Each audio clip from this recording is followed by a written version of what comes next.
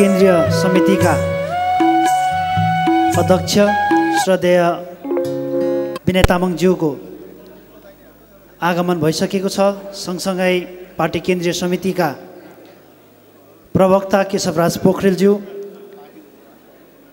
सिके कुमाई सर सँगसँगै केन्द्रीय समितिबाट विभिन्न पदाधिकारी अनि कालेबुङ जिल्ला समितिका पदाधिकारीहरू पनि आइसक्नु भएको छ। को चिन्नारीको अडचनहरू यसलाई केलाउनको निम्ति आज हामी समक्ष स्रोत व्यक्तिको रूपमा विभिन्न ओदाबाट व्यक्तित्वहरू हुनुहुन्छ पछिबाट हामी तपाईँलाई परिचय गराउनेछौँ र आज यो कुराहरू खुट्याउनको निम्ति पार्टी अध्यक्ष श्रद्धेय विनय तामाङज्यूको जुन एउटा पहल जुन अभियान उहाँले लिनुभएको छ यसलाई लिएर हामी अगाडि बढिरहेका छौँ। समग्र भारतमा गोर्खाहरू सुरक्षित हुनुपर्छ अनि गोर्खाहरूको माग मर्यादा हक अधिकार सुनिश्चित हुनुपर्छ। संवैधानिक तौरले आजसम्म भएको इन्जस्टिस अन्यायहरू जो जो छ त्यसमा गोर्खाले न्याय पाउनुपर्छ भन्ने मुकाम लिएर हाम्रो अध्यक्ष महोदयले नयाँ बौद्धिक आन्दोलनको थालनी गर्नुभएको छ र बौद्धिक आन्दोलनलाई लिएर अगाडि बढिरहनु भएको छ। यहाँको हात बलियो बनाउन यहाँको साथमा उभिनको निम्ति आज हामी यहाँ उपस्थित छौँ। आज हामीले धेरै कुरा बुझेर जानुपर्नेछ। यो सङ्गोष्ठी हो। यहाँबाट हाम्रो चेतना भरिएर सचेत भएर हामी जानुपर्नेछ। र अन्य हाम्रा साथी सङ्गोष्ठी इष्टमित्र सम्पूर्ण गोर्खा समाजमा यो सन्देशलाई फैलाउनु छ। र आजको सङ्गोष्ठीमा यहाँहरू जतिजना पनि आफ्नो बहुमूल्य समय दिएर आउनुभएको छ यहाँहरू सबै सबैलाई हार्दिक स्वागत जनाउँदछौँ। अब हामी औपचारिक रूपले कार्यक्रम सुरु गर्न गइरहेका छौँ। भारत भुटानको मैत्रिक सन्धि अनि भारत नेपालको मैत्रिक सन्धि उन्नाइस सय पचास भारत भुटानको मैत्रिक सन्धि उन्नाइस सय उन्चास।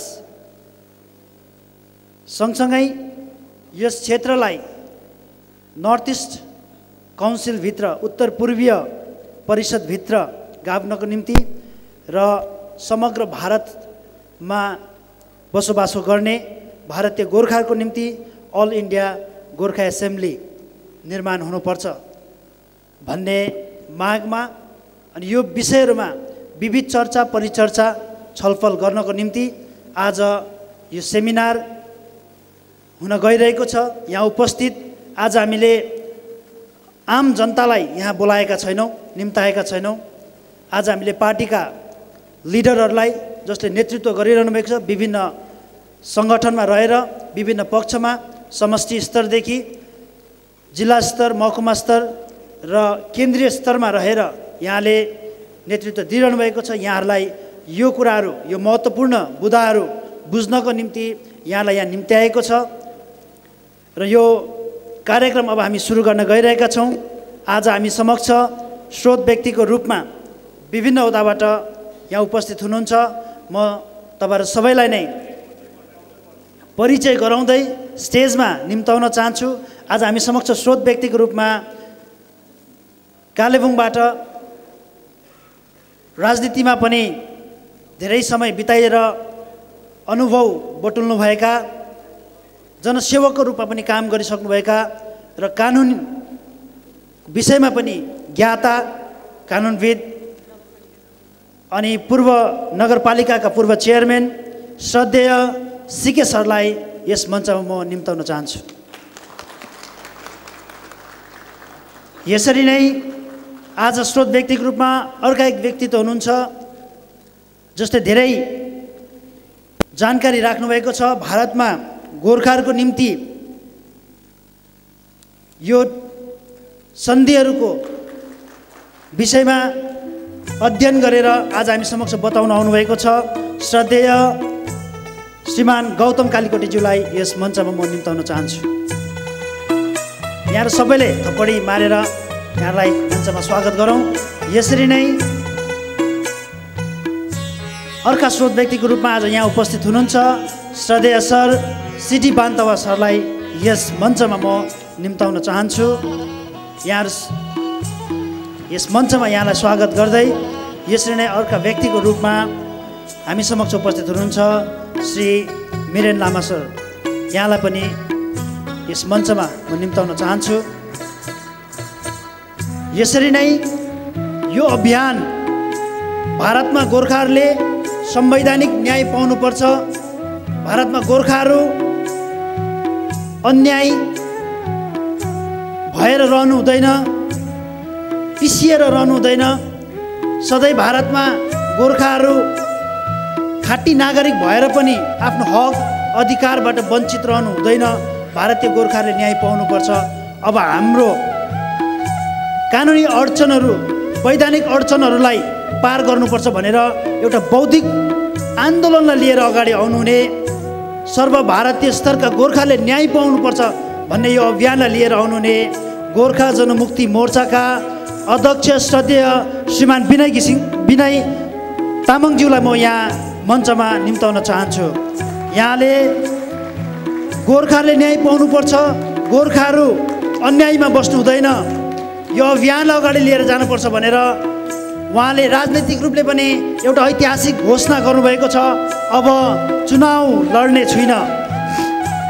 म कुनै पनि पार्टी चुनाव चौकी सत्ता पावरको पछाडि हुन्छ तर यो सबैलाई त्यागेर चुनाव चौकी पावर सत्ता सबै कुरा त्यागेर गोर्खाहरूले आम जनताले न्याय पाउनुपर्छ भनेर यो सबै कुरा त्याग्नु एउटा त्यागी नेताको रूपमा यहाँ हामी समक्ष उपस्थित हुनुहुन्छ।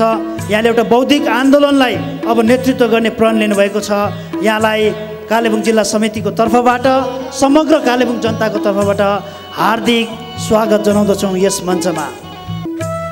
र यो कार्यक्रमलाई अगाडि बढाउँदै हामी आजका स्रोत व्यक्तिहरूको बाहुलीबाट दीप प्रज्वलन गर्न गइरहेका छौँ। म सम्पूर्णलाई अध्यक्ष विनय तामाङज्यूको अगुवाई गर्नुहुनेछ। हामी दीप प्रज्वलन गरेर आजको कार्यक्रमको थालनी गर्नेछौँ। बाहुलीबाट दीप प्रज्वलन भइरहेको छ। असत्यमा सत्य गमय तमर्सोमा ज्योतिर्गमय मृत्युमा अमृत गमय। अन्ध्यारोदेखि उज्यालोतिर अग्रसर गर्ने मृत्युदेखि जीवनतिर र असत्यदेखि सत्यतिर अग्रसर गर्ने प्रण हामी गर्नेछौँ। यो यात्रा बौद्धिक आन्दोलनको यात्रालाई अघि बढाउनको निम्ति हामी सत्यको सहारा लिनेछौँ उज्यालोको सहारा लिनेछौँ। र कार्यक्रमको अघिल्लो चरणमा औपचारिक स्वागत सम्बोधन राख्नको निम्ति म कालेबुङ जिल्ला समितिका साङ्गठनिक सचिव विनय घिसिङज्यूलाई आग्रह गर्दछु। जाति र बाटोको सुरक्षा गरौँ। म होइन हामी भएर बाँचौँ। गोर्खा जनमुक्ति मोर्चा पार्टी हाम्रो पार्टीको यसै भनाइलाई सिरोपर गर्दै विशेष गोर्खा जनमुक्ति मोर्चा केन्द्रीय अध्यक्षज्यूको एउटा इमान्दारी एउटा जातिप्रतिलाई जातिको चिन्ता गरेर एकदमै इमान्दारी यो जुन प्रयास र उहाँको निर्देशमा आज भारतभरि नै बसोबास गर्ने गोर्खा जातिको जातीय एउटा राष्ट्रिय चिनारी साथसाथै विशेष गरी संवैधानिक जुन न्याय पाउनुपर्ने विषयमा आज जुन विचार गोष्ठी जिल्ला समितिद्वारा आयोजना गरिएको छ यसमा विशेष रूपले आफ्नो बहुमूल्य उपस्थिति दिनुहुने गोर्खा जनमुक्ति मोर्चा केन्द्रीय अध्यक्ष श्रीमान विनय तामाङज्यू र यसरी नै आज सही हिसाबले तपाईँ र हामीले बुझेको हुनुपर्छ अध्ययन गरेको हुनुपर्छ भन्ने हेतु लिएर यो अति उत्तम एउटा उद्देश्यले विशेष गरी तपाईँ हामीलाई आज यो जुन भूभाग सम्बन्धमा जुन तपाईँ र हाम्रो एउटा माग सम्बन्धमा जे जति पनि एउटा संवैधानिक कुराहरू छन् अडचनहरू छन् यी विषयमा आजका विशेष स्रोत व्यक्तिहरू जसले तपाईँ हामीलाई आज थुप्रै थुप्रै कुराहरू सही हिसाबले तपाईँ र मेरो तपाईँ हाम्रो यो राष्ट्रिय चिनारीको विषयमा गर्नु हुनुपर्ने कुरालाई जुन प्रकाश पार्नुहुने अति बहुमूल्य उपस्थिति दिनुभएका वरिष्ठ अधि- अधिवक्ता सर सिके कुमाईज्यू यसरी नै आजका स्रोत व्यक्ति दाजु गौतम कालीकोटीज्यू श्रीमान सिडी बान्त बान्तावाज्यू दाजु मिरन लामाज्यू लगायत केन्द्र समितिका प्रवक्ता श्रीमान केशव राज राज पोखरेलज्यू लगायत यसरी नै केन्द्र समिति सदस्यगण क्रमैले कम कमलगिरीज्यू प्रवीण रापलज्यू भुवन खनालज्यू विशेष दिनेश दिनेश पौडेलज्यू लगायत एचबी छेत्री सर यसरी नै केन्द्रीय समितिका सहसचिव श्रीमान सञ्चवीर सुब्बाज्यू यसरी नै श्रीमान रुदेन सादा लेप्चाज्यू श्रीमती तारा लोहार लेप्चाज्यू लगायत नारी मोर्चाका प्रमुख सल्लाहकार गुरामा प्रतिभा कुमाईज्यू लगायत टाउन कमिटीका पद अधिकारीगण म यहाँबाट देखिरहेको छु युवा मोर्चाका अध्यक्ष भाइ विदुर राई।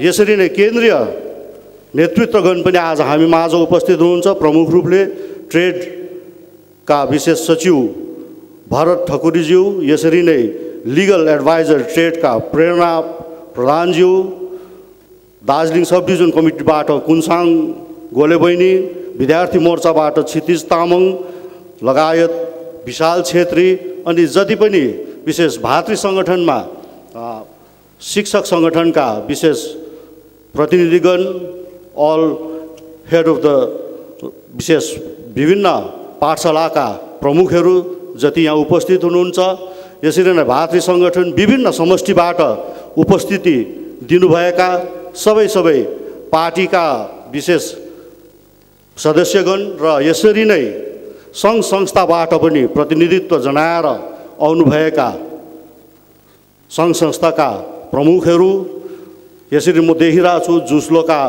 प्रतिनिधिगण महासङ्घबाट शिक्षक सङ्गठनबाट विभिन्न समष्टिबाट गोरुब गोरुबथान सब डिभिजनबाट सबै सबैलाई विशेष गरी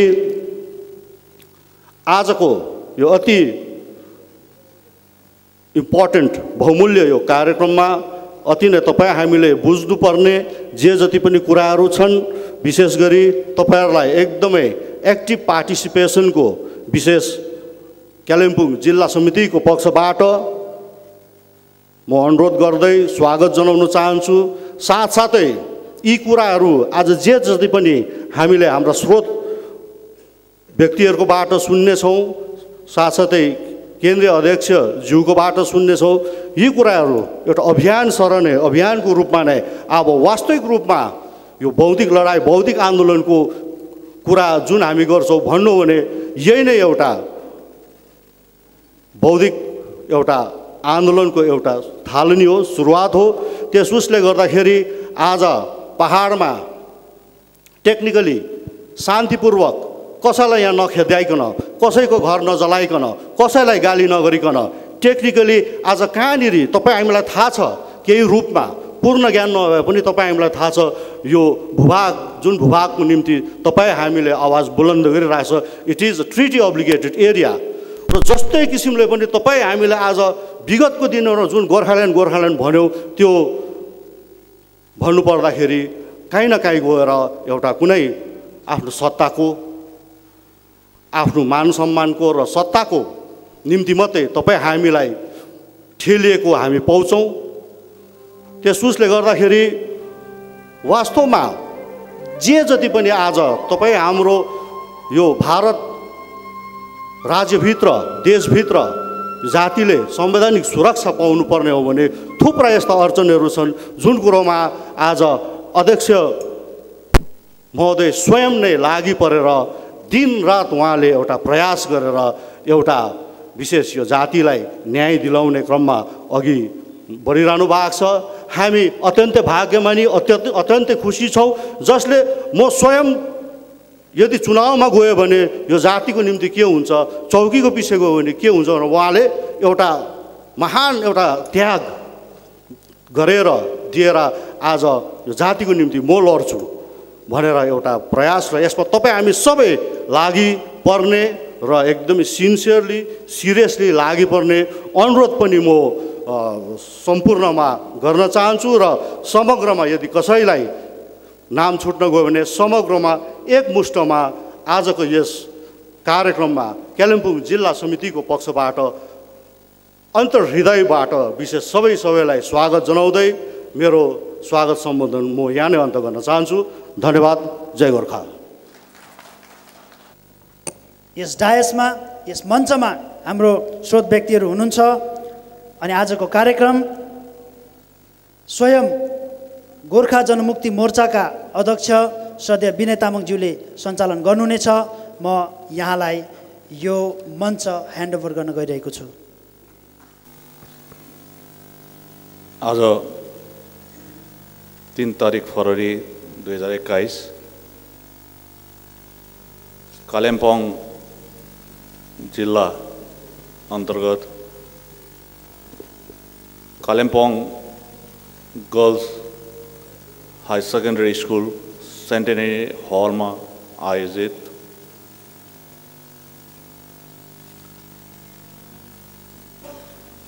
बौद्धिक आन्दोलनको सूत्रपात हेतु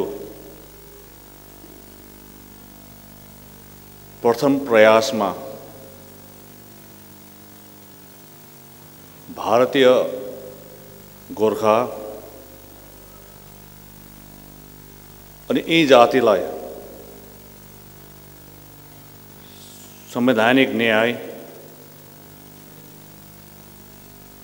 राजनैतिक न्याय एवं राष्ट्रिय चिनारीको निम्ति अब हामीले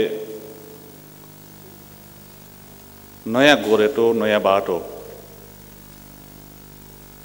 लगेर जानुपर्छ हेतु।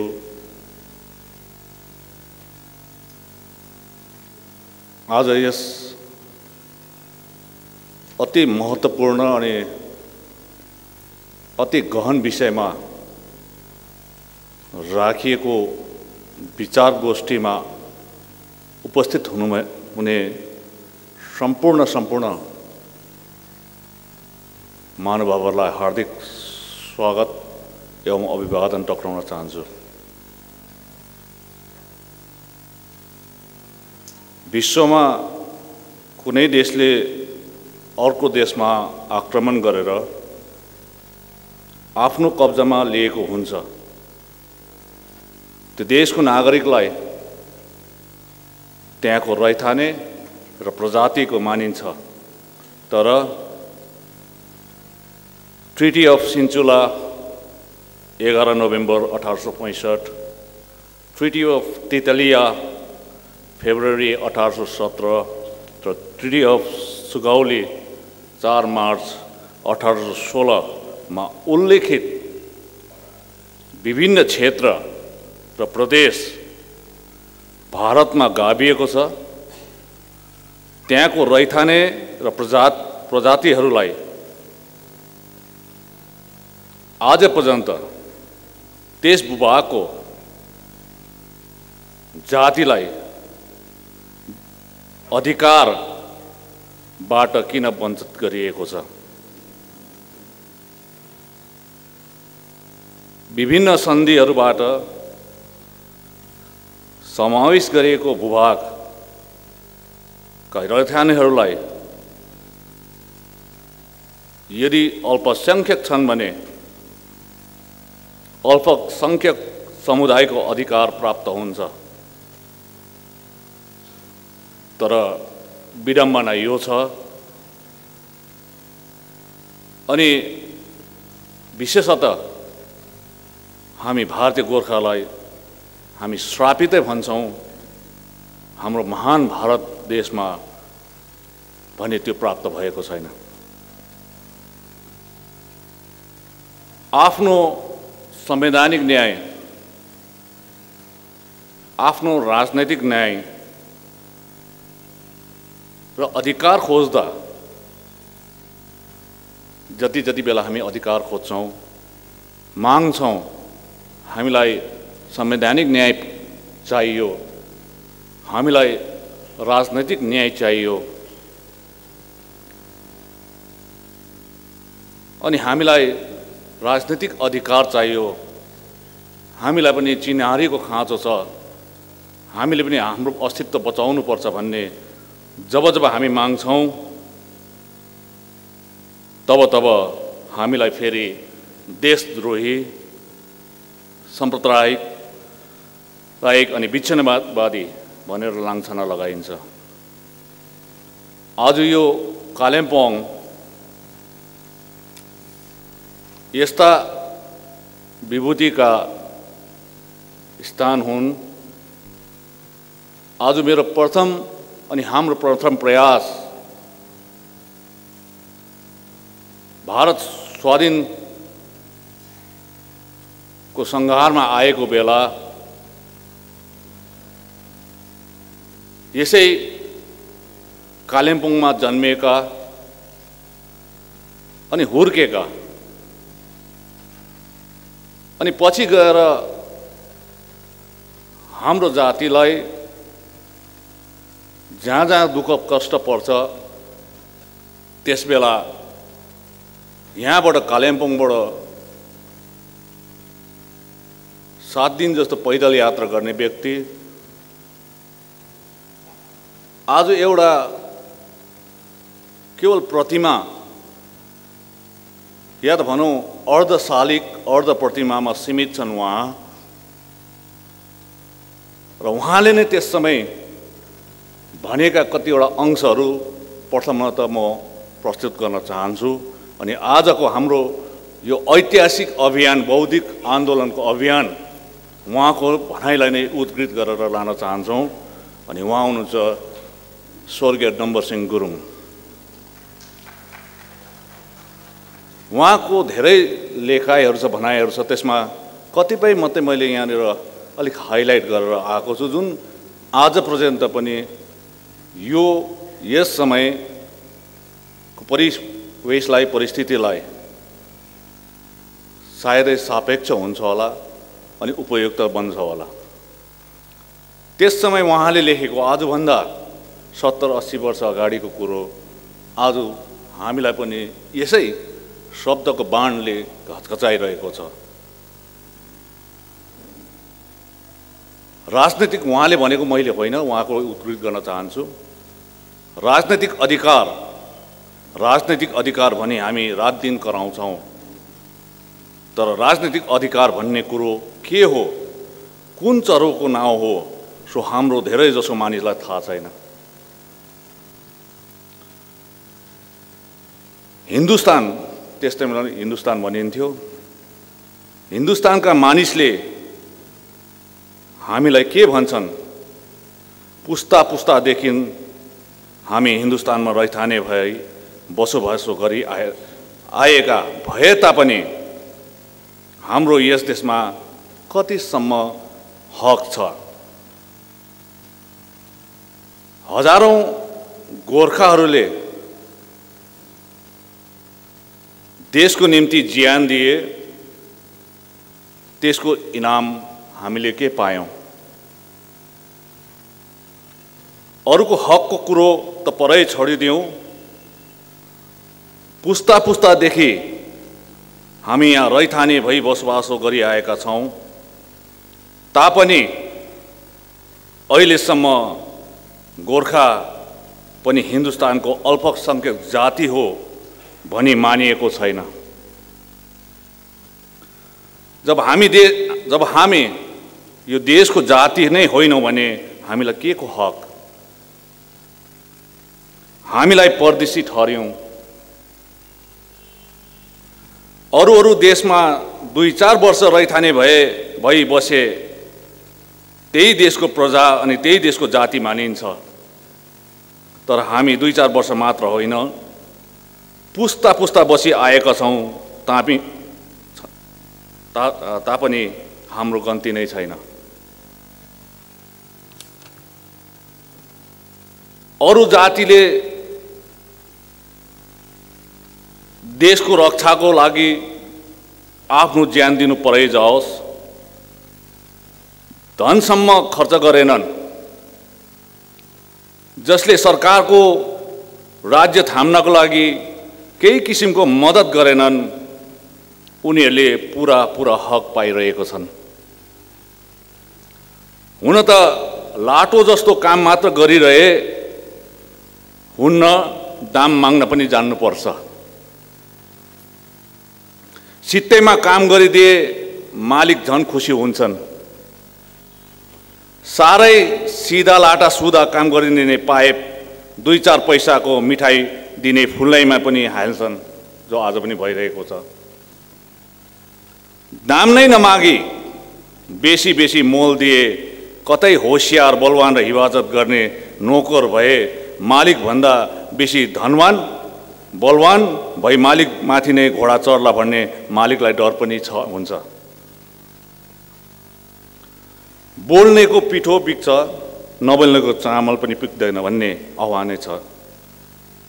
कामै नगरी धुमधाम कराउनेले सबै कुरो पाएका छन्। हामी चुपचाप काम गरी बस्यौँ जहाँ मर्न जा भन्यो त्यहाँ गए गयौँ तर कराउन जानेनौँ। यसर्थ हाम्रो निम्ति कोही पनि छैन। काम लगाएपछि कामको दाम मालिकले दिनु जान्नुपर्ने।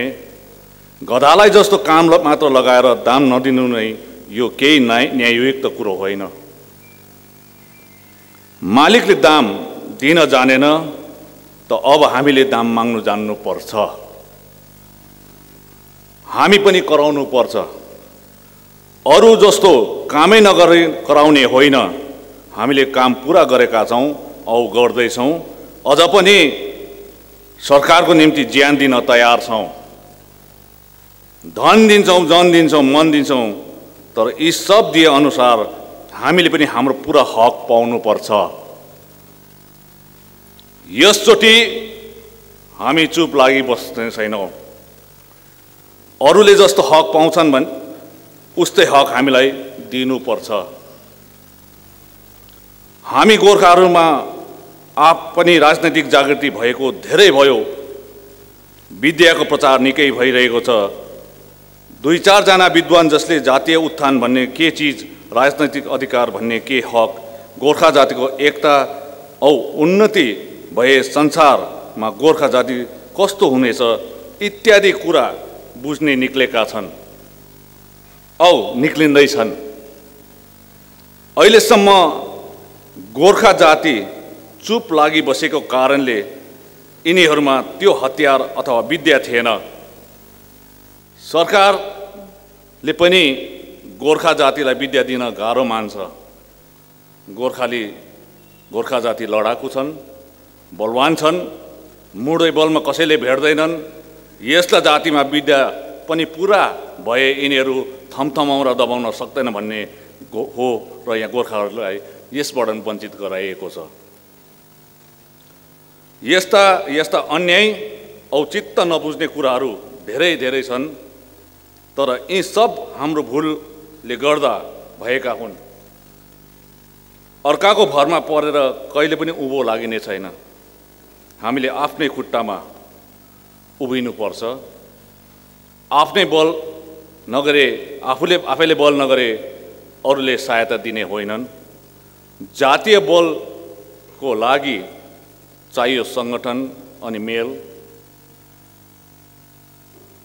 हिन्दुस्तानका जम्मै गोर्खा एकमत भई एक स्वरले कराए हाम्रो अधिकारको हिस्सा हामीले पाउनु केही गाह्रो कुरो छैन। सम समय धेरै छैन लडाइँको अन्त्य चाँडो हुन सक्छ धन्यवाद। र अब आजको यस कार्यक्रमलाई को विषयवस्तुलाई तपाईँहरूको उपस्थितिलाई उजागर गर्नको निम्ति म सर्वप्रथम हामी स्टियरिङ कमिटीमा अहिले नौजना छौँ जसमा चारजना तपाईँहरूले देखिसक्नु भएको छ। पाँचजना अहिले उहाँहरू आउनु भएको छैन। र स्टियरिङ कमिटी हाम्रो पार्टीभित्रको यी मुद्दाहरूलाई लड्ने कमिटीहरू हुन्। अनि म ती स्टियरिङ कमिटीका एक प्रमुख सदस्य जो मङ्पुवासी श्री मिरेन लामाज्यूलाई आजको यस विचार गोष्ठीबाट माथि आफ्नो औचित्य राखिदिने म अनुरोध गर्न चाहन्छु। धन्यवाद। यहाँहरू सबै जति पनि आजको यो विचार गोष्ठीमा सहभागिता जनाउन यहाँ आउनुभएको छ यहाँहरू सबैलाई एकमुष्टमा सम्बोधनमा राख्दै तपाईँहरूसँग आफ्नो दुईवटा कुरा सेयर गर्न चाहन्छु। र आज भारतवर्ष यो भारत देशको फेडरल स्ट्रक्चर गणतान्त्रिक जुन एउटा पद्धति छ गणतान्त्रिक एउटा जुन व्यवस्था छ त्यो व्यवस्थाभित्र रहेका एउटा सानो पार्ट जो पश्चिम बङ्गाल राज्य अन्तर्गत पर्न जान्छ दार्जिलिङ जिल्ला अनि कालिम्पोङ जिल्ला। र यो भूभाग जतिको अभागी भूभाग भारतको अरू कुनै प्रान्तमा खोज्दा पनि पाइन्न। अब यो भूभागमा बस्ने बसोबासो गर्ने तपाईँ हामी अब भूभागै अभागी भइसकेपछि तपाईँ हाम्रो अनुहारै हेर्नुहोस् कहिले उज्यालो हुन सकिराखेको छैन। वर्षौँ भयो यसले डेढ सौ वर्ष क्रस गरिसक्यो। भारत स्वाधीन भएको भारत गणतन्त्र भएको त्रिहत्तर वर्ष लागिसक्यो तरै पनि हामीले कहिले खुलेर हाँस्न सकिरहेको छैनौँ। र त्यसैले गर्दा आज यो नयाँ सोच अनि नयाँ विचारमा हामीले यो एउटा गोष्ठी राखेर हाम्रो मान्छेहरूलाई हाम्रो यो भूभागमा बसोबासो गरेको अभागी भूभागका अभागी मान्छेहरूसँग हामी हाम्रो कुरा किन सेयर नगर्ने किन नबाट्ने भन्ने एउटा इच्छा जताएर हाम्रा आदरणीय अध्यक्षले यो जुन एउटा कदम चाल्नु भएको छ र त्यसमा हामीले सहृदय समर्थन जनाएर आज हामी तपाईँहरू समक्ष छौँ र सर्वप्रथम कालिम्पोङमा हामीले हाम्रो विचार यो सङ्गोष्ठीमा राख्न पाएकोमा म आफैलाई एउटा हर्ष व्यक्त गरिरहेको छु। र यो डम्बर सिंह गुरुङ डङ बाबा बाउ डम्बर सिंह बाउ उहाँको यो किपट भूभागमा उभिएर आज फेरि उहाँले जसरी धोका खाएर जानुभएको छ अहिले विचार सुन्नुभयो। उहाँले एउटा स्पिचमा सायद अन्तिम स्पिच मेला ग्राउन्डको स्पिचमा पनि भन्नुभएको थियो कि भारतीयहरू स्वाधीन स्वतन्त्र भए गणतन्त्र भए गणतान्त्रिक देशकाहरू भए र अझै पनि गोर्खाहरूले कहिले न्याय पाउने भन्ने एउटा उहाँको दार्जिलिङ भन्ने किताबमा उद्धृत गरिएको छ। र हेर्नुहोस् तपाईँ हामी आज ठुलो कुरा हामीले भनेको होइनौँ तर हाम्रो कुरा बुझिदिँदैन। यसमा हाम्रो गल्ती हो। या सरकार पक्षमा बस्नेहरूको गल्ती हो। हामी पनि दुविधामा छौँ। र हामीले भन्नु चाहेको कुरा हामी भारतवर्षभित्र हामीलाई राष्ट्रिय एउटा जुन हाम्रो चिनारीको एउटा सङ्कट छ हामी गोर्खा जाति भनेर त्यो सुल्झ्याइदेऊ हामीलाई पनि राष्ट्रिय मूलधारामा लगिदेऊ। हामीलाई पनि संवैधानिक ग्यारेन्टी देऊ भन्न चाहेको मात्रै हो। यदि भारत सरकारले चाहेको भए यो उहिले डम्बर सिंह बाबुको पालामै सक्ने थिए। तर न्याय गरे तिनीहरूले हामीमाथि कहिले न्याय गरेन र जहिले पनि हाम्रो जातिको अस्तित्व नै खतरामा रहेर आयो। आज हामी नेपाली अब्लिक गोर्खा भनेर हामी चिनिन्छौँ। त्यसरी नै अन्य जातिहरूमा बङ्गलादेशमा पनि बङ्गालीहरू छ। बङ्गालमा भारतमा पनि बङ्गालीहरू बस्छन्। तर उनीहरूको कहिले पनि जातीय चिन्हारीको सङ्कट उनीहरूमाथि आए लागेन। कहिले पनि विदेशीको लान्छना लागेको छैन। तर हामी यहाँ बसोबासो गरेका छौँ। छ पुस्ता आठ पुस्ता बेसी भइसक्यो। यो भूभागै हाम्रो हो। र पनि अहिलेसम्म छोरा नातिसम्म पनि हामीलाई विदेशीको लान्छना लागिरहेको छ। र बुझ्नुपर्ने कुरा यहाँ आउँछ बङ्गलादेश र भारतको बिचमा जुन सन्धि भयो त्यहाँ धारा साथ छैन। त्यो धारा सात नभएकोले गर्दा उनीहरूको राष्ट्रिय चिन्हारी स्पष्ट छ बङ्गलादेशको बङ्गाली र यता बङ्गालको बङ्गाली भारतमा बसोबासी बङ बस गर्ने बङ्गालीहरू उनीहरूको राष्ट्रिय चिनारी स्पष्ट छ। भारत गणतान्त्रिक पद्धतिमा हामी मात्रै होला अगाडि भारतीय लेख्नुपर्ने भारतीय गोर्खा लेख्नुपर्ने भारतीय नेपाली लेख्नुपर्ने। हामीले लेखेर हाम्रो आइडेन्टिटी देखाउनु पर्ने किन यस्तो परिस्थिति? र यहाँ कुरा आउँछ। र हामी यो ट्रिटी अब्लिगेटरी ल्यान्डमा पर्छौँ हामी जमिनमा पर्छौँ। अठार सय सोह्रमा जब ब्रिटिसहरूले टिस्टादेखि पश्चिमको जमिन यो भूभागमा गाभ्यो त्यसको इतिहास छ लिखित दस्तावेज हामीसँग छ। अनि गएर उन्नाइस सय तेइसमा पनि त्यो सुगौलीको सन्धिलाई रद्द गरेर इन्डो ब्रिटिस इन्डिया र नेपाल बिचमा फेरि अर्को ट्रिटी गरेर फेरि यसलाई त्यो भूभागलाई कन्फर्म गरेको कुराहरू छ। र आज त्यसरी नै यता भुटान र ब्रिटिस इन्डियामा सन्धि भएको कुराहरू छ अनि यो जमिनलाई लिजको हिसाबमा लिएको दस हजार गरेर यसको किराय तिर्नु परेको एक लाख भएको त्यहाँबाट पछाडि फेरि गएर पाँच लाख भएको अनि गएर दस लाख वर्षेनी तिर्नुपर्ने दुई हजार सातदेखि मात्रै लुकाइएको छ। अहिले पनि भुटानले कहीँ न कहीँ यो भूभागको टिस्टादेखि पूर्वको जमिनको किराय लिइराखेकै छ प्रत्यक्ष अप्रत्यक्ष रूपमा। र आज हामी त्यस्तो परिस्थितिमा बसिराखेका छौँ। र जब ब्रिटिसहरू थियो उनीहरूको शासन थियो। हामीलाई यो भूभाग सन्धिले ल्याएको भूभागलाई कहिले पनि उनीहरूले उनीहरूको शासन प्रणालीमा समुच्चय अरू भारतको अरू प्रदेशहरूसँग राखेर कहिले शासन गरेन हामीलाई प्रोभिन्समा राख्यो कहिले कहिले यसलाई चिफ प्रोभिन्समा राख्यो फेरि त्यस पछाडि पार्सियली एक्सक्लुडेड एरियामा राख्यो एक्सक्लुडेड एरिया भनेर राख्यो अनि पछाडि गएर पार्सियली एक्सक्लुडेड एरियामा राख्यो। उन्नाइस सय पाँचमा द पार्टिसन अफ बेङ्गल इतिहासमा पढ्नुपर्छ। उन्नाइस सय पाँचमा बङ्गाललाई छुट्यायो समुच्च बङ्गाललाई दुई भाग भागमा विभक्त गर्यो पूर्व र पश्चिम बङ्गाल बनायो। र त्यति बेला पनि हामीलाई अलग्गै झिकेर लगेर भागलपुर डिस्ट्रिक्ट बिहारमा लगेर राखेको छ। हामी पार्सियल्ली एक्सक्लुडेड एरियालाई उन्नाइस सय पाँच सालमा। र उन्नाइस सय पाँच सालमा नै हाम्रो साहित्यमा पनि त्यसको प्रभाव परेको छ कि बिहारबाट मास्टर मुसाईहरू पढे लेखेकाहरू आएका थिए। उनीहरूले प्राइमेरीमा पढाएको इतिहासहरू छ।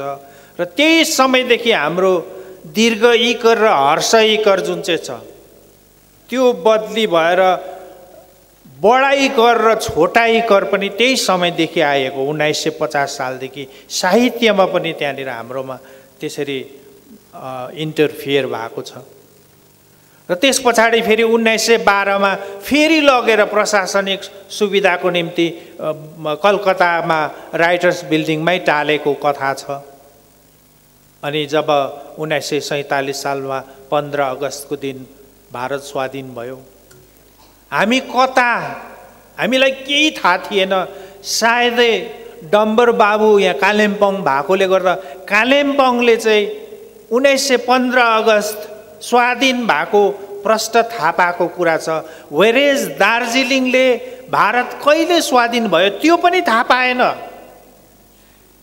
त्यो पनि थाहा पाएन। त्यति बेला त्यस्तो के संसाधन थिएन समाचार माध्यम थिएन।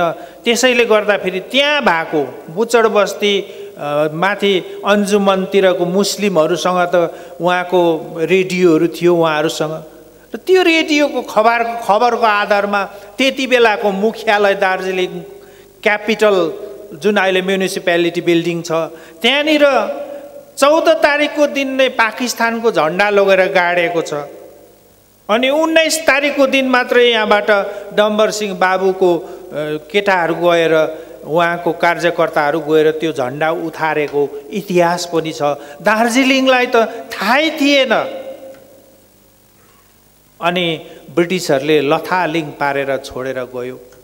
अब ब्रिटिसहरू आउनु हाम्रो निम्ति अहो भाग्य पनि हो। चिया इन्डस्ट्री पायौँ सिन्कोना इन्डस्ट्री पायौँ रेल पायौँ। सायदै ब्रिटिसहरू नआएको भएदेखि पाउँदैनौ थियौँ। दार्जिलिङ कालिम्पोङको यो स्ट्रक्चर हामीले पायौँ। उहाँहरूको देन हो। फेरि दुर्भाग्य पनि हामीलाई त्यहीँदेखि भयो। हामीलाई जस्तो ल्यायो त्यस्तै बतासे नानी जस्तो छोडिराखेर गयो। कता हो? अनि सैँतालिस सालमा स्वाधीन भइसकेपछि हामी स्वाधीन त भयौँ। अनि गएर हामी त पार्सियल्ली एक्सक्लुडेड एरियामै थियौँ। इतिहास हेर्नुहोस्। अहिले त एन्ड्रोइड फोनको जमाना छ। तपाईँहरू सबैले हेर्नुहोस्। हाम्रै कुरामा मात्रै विश्वास नगर्नुहोस्। आफ्नो इतिहासलाई केलाउनुहोस्। अनि जब उन्नाइस सय पचासमा भारत गणतन्त्र भारतको संविधानलाई लोकार्पण गर्नुपर्ने त्योभन्दा अगाडि नै उन्नाइस सय उन्चासमा भारत र भुटानको सुविधाको निम्ति उनीहरूको दुईवटा परस्पर देशको सुविधाको निम्ति हतार हतार सन्धि गर्यो चुक्ति गर्यो। तर तपाईँ र हामी यहाँ बसोबासो गर्ने मान्छेहरूको त्यहाँ कहीँ कतै उल्लेख गरेन।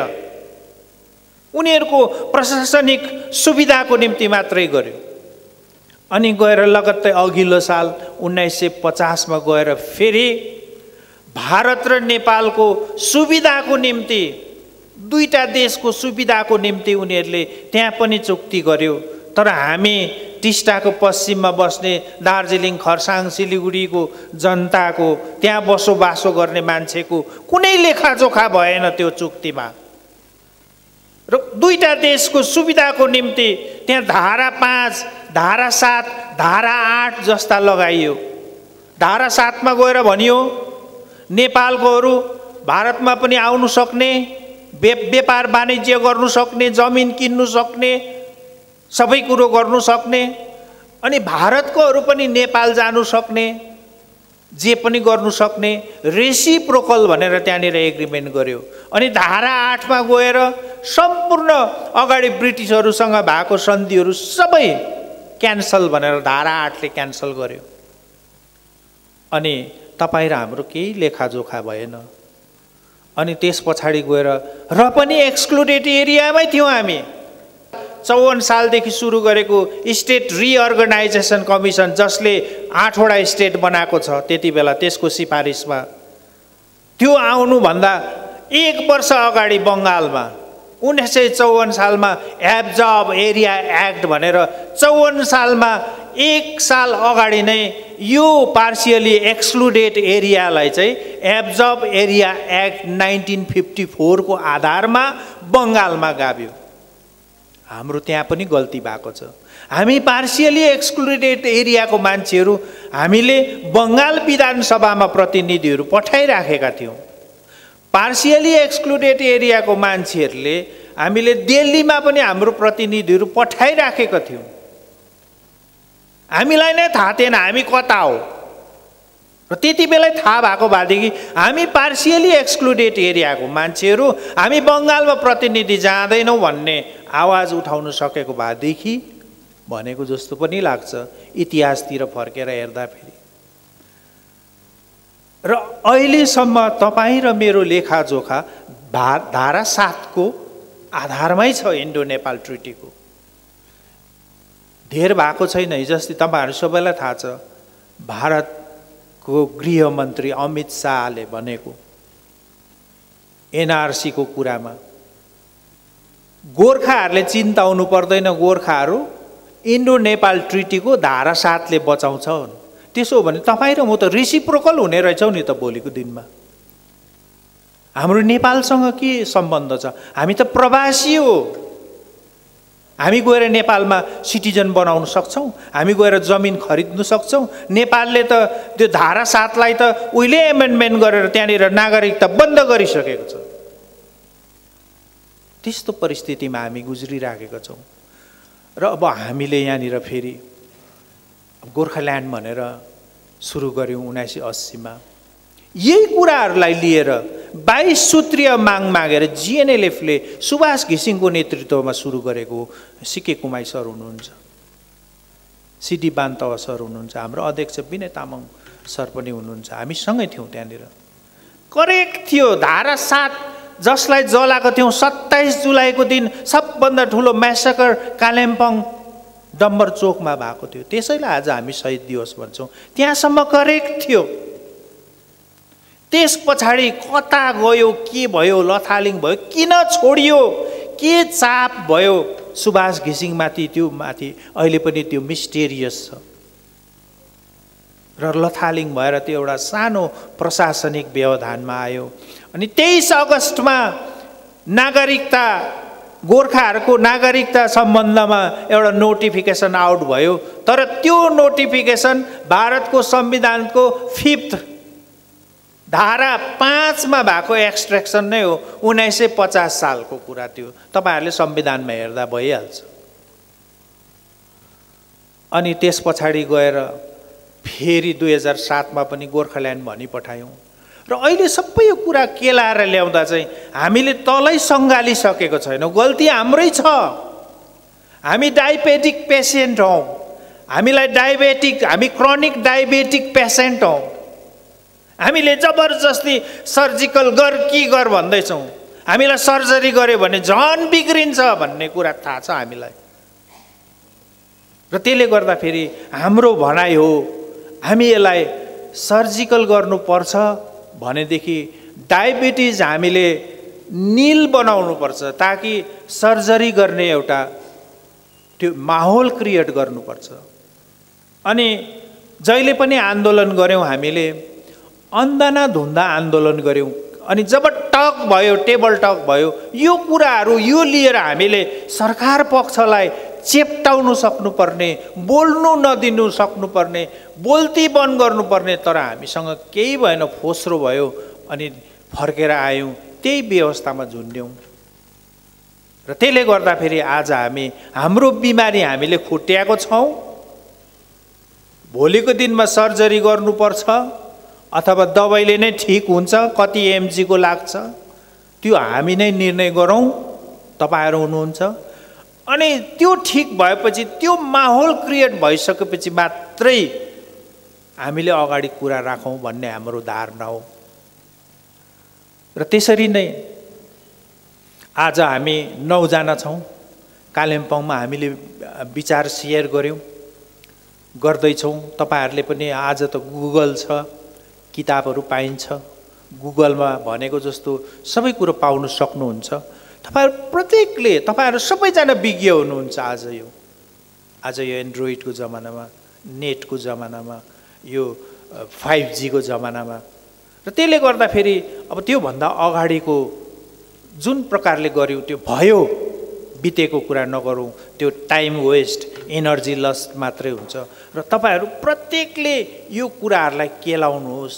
तपाईँहरू जो यो माथि इच्छा राख्नुहुन्छ जसलाई ज्ञान छ तपाईँहरू ज्ञाता हुनुहुन्छ हामीसँग आएर जोडिदिनुहोस् जोडि जोडिएर काम गरौँ।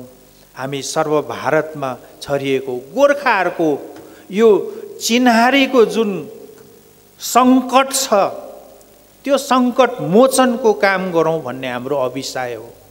हामीले भारत सरकारलाई भन्नु छैन गोर्खाल्यान्ड दे भन्नु पनि छैन अहिले। हामीले यति नै हो भन्नु चाहेको हामीलाई राष्ट्रिय मूलधारामा लैजाऊ। हाम्रो चिनारीमाथि के केले गर्दा यो यो यो चिजले गर्दा हामीलाई असुविधा भएको छ त्यो माथि तिमीले समाधान गर भन्नु चाहेको हो। हामी पनि राष्ट्र प्रेमीहरू हौँ हामी पनि राष्ट्रको निम्ति ज्यान दिनको निम्ति तयारी छौँ भन्न चाहेको हो। हामीले अरू कुरा केही भन्न चाहेको होइन।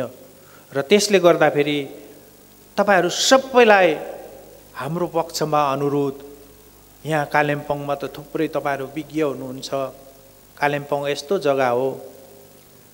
र कालिम्पोङले हामीलाई ठुलो साथ दिन्छ हामीलाई ठुलो टेवा दिन्छ भन्ने हामी विश्वस्त छौँ।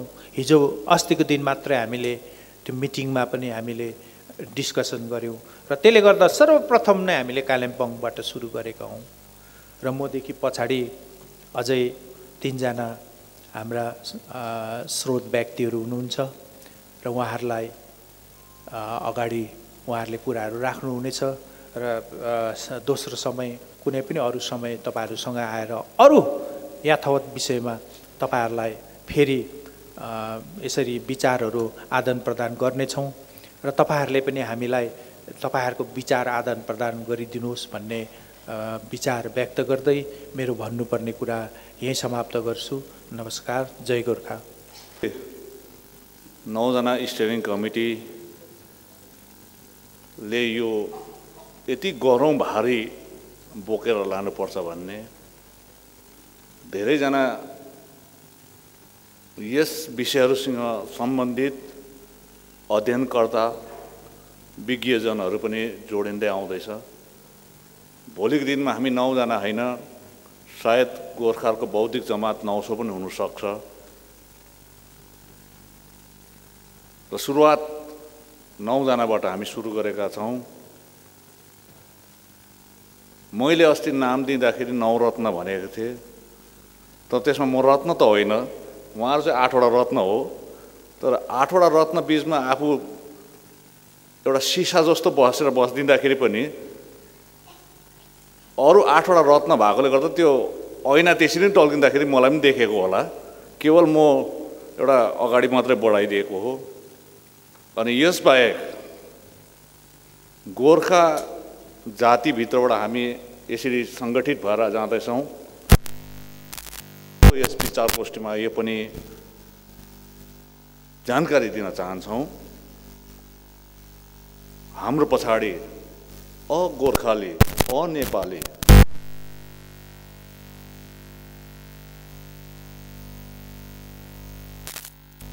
संविधानको विष विज्ञजन। सन्धिसित सम्बन्धित विज्ञजन उहाँहरू पनि जोडेका छन्।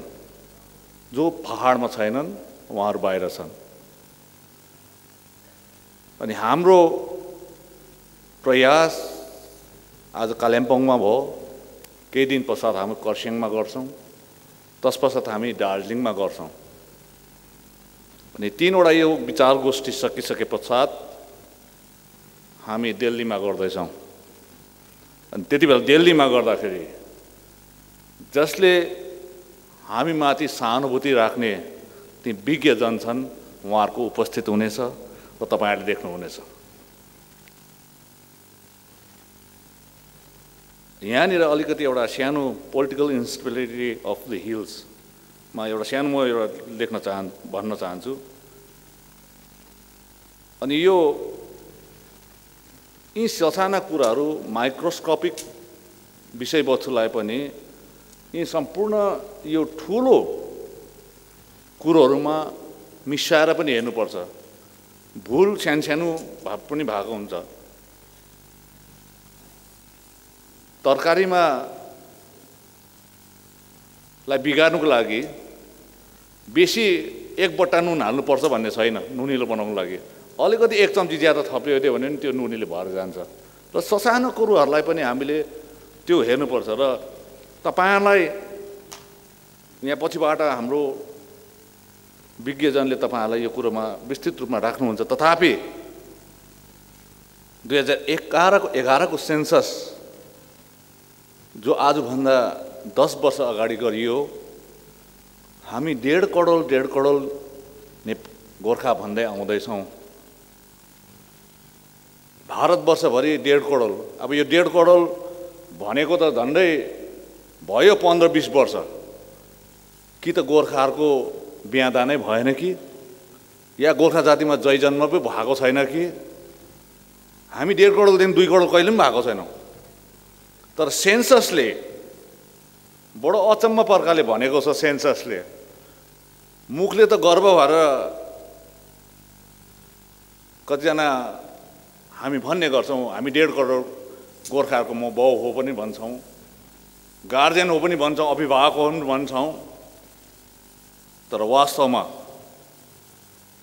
दुई हजार एक्काइस एघारको सेन्सस आजभन्दा दस वर्षको अगाडिको सेन्ससले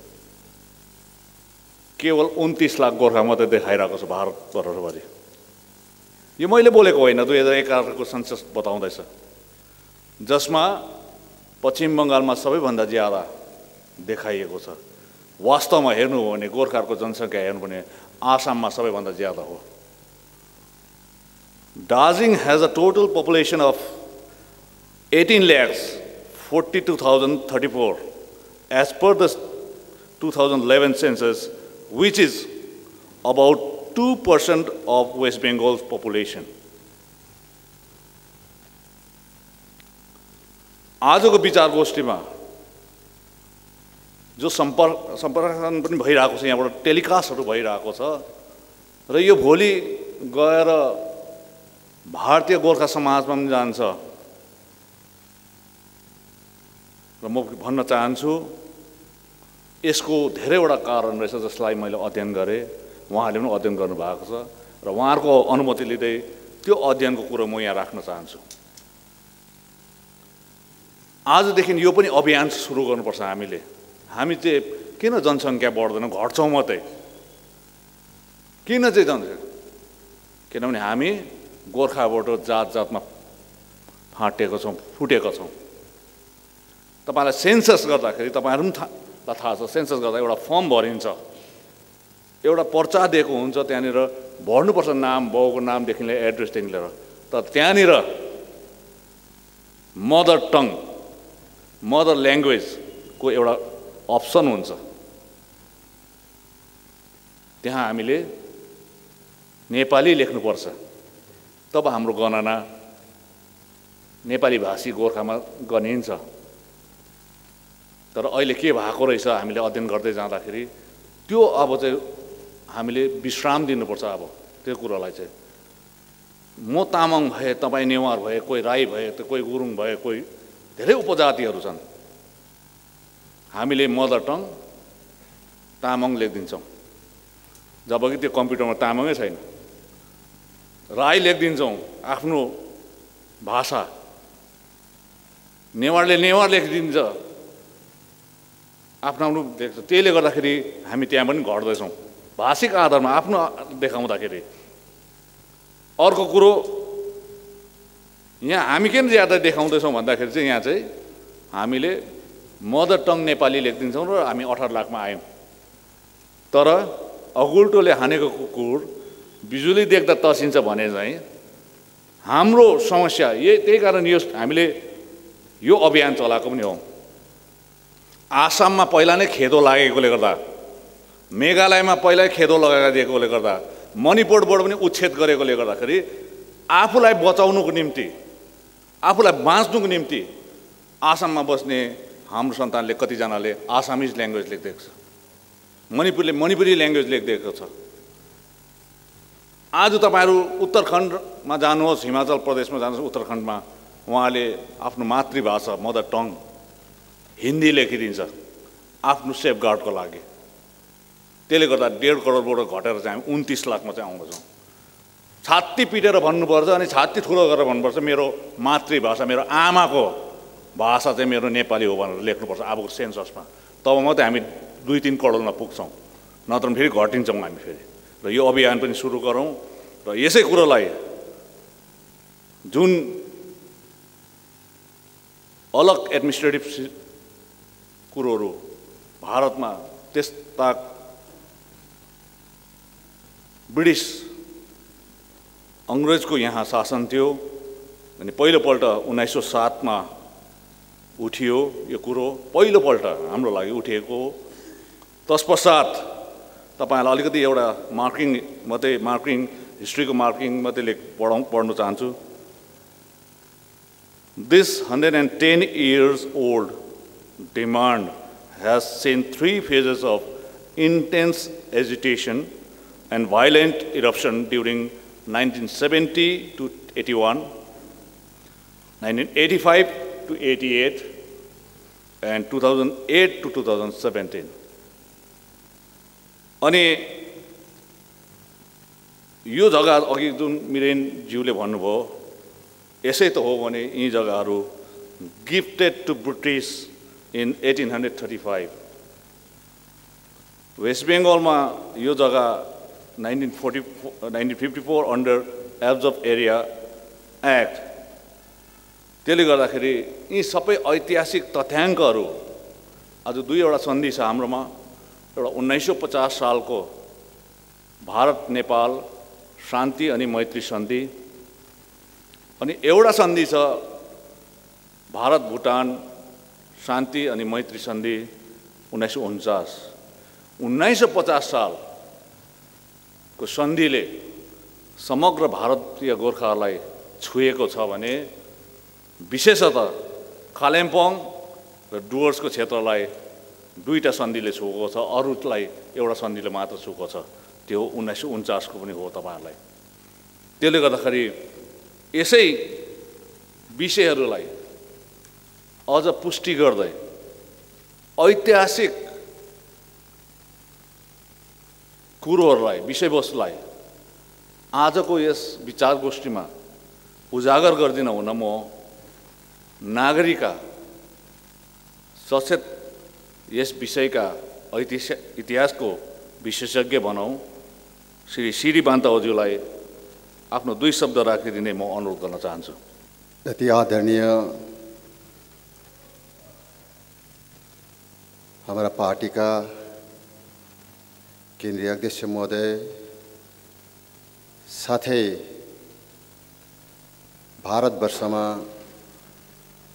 गोर्खाले भोगिरहनु परेको राष्ट्रिय चिनेरीका चिन्तक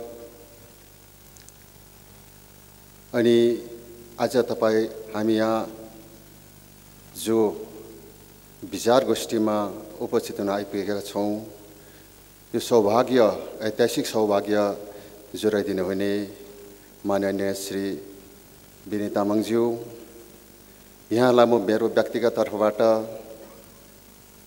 धेरै धेरै बधाई शुभ शुभकामना साथै अभिनन्दन टक्राउन चाहन्छु। पहिला म विचार गोष्ठी भएको कारणले गर्दाखेरि यो विचार गोष्ठी कालिम्पोङ जस्तो पुण्यभूमिमा प्रथमपल्ट आयोजना हुन गइरहेको छ अनि आयोजना भइरहेको छ।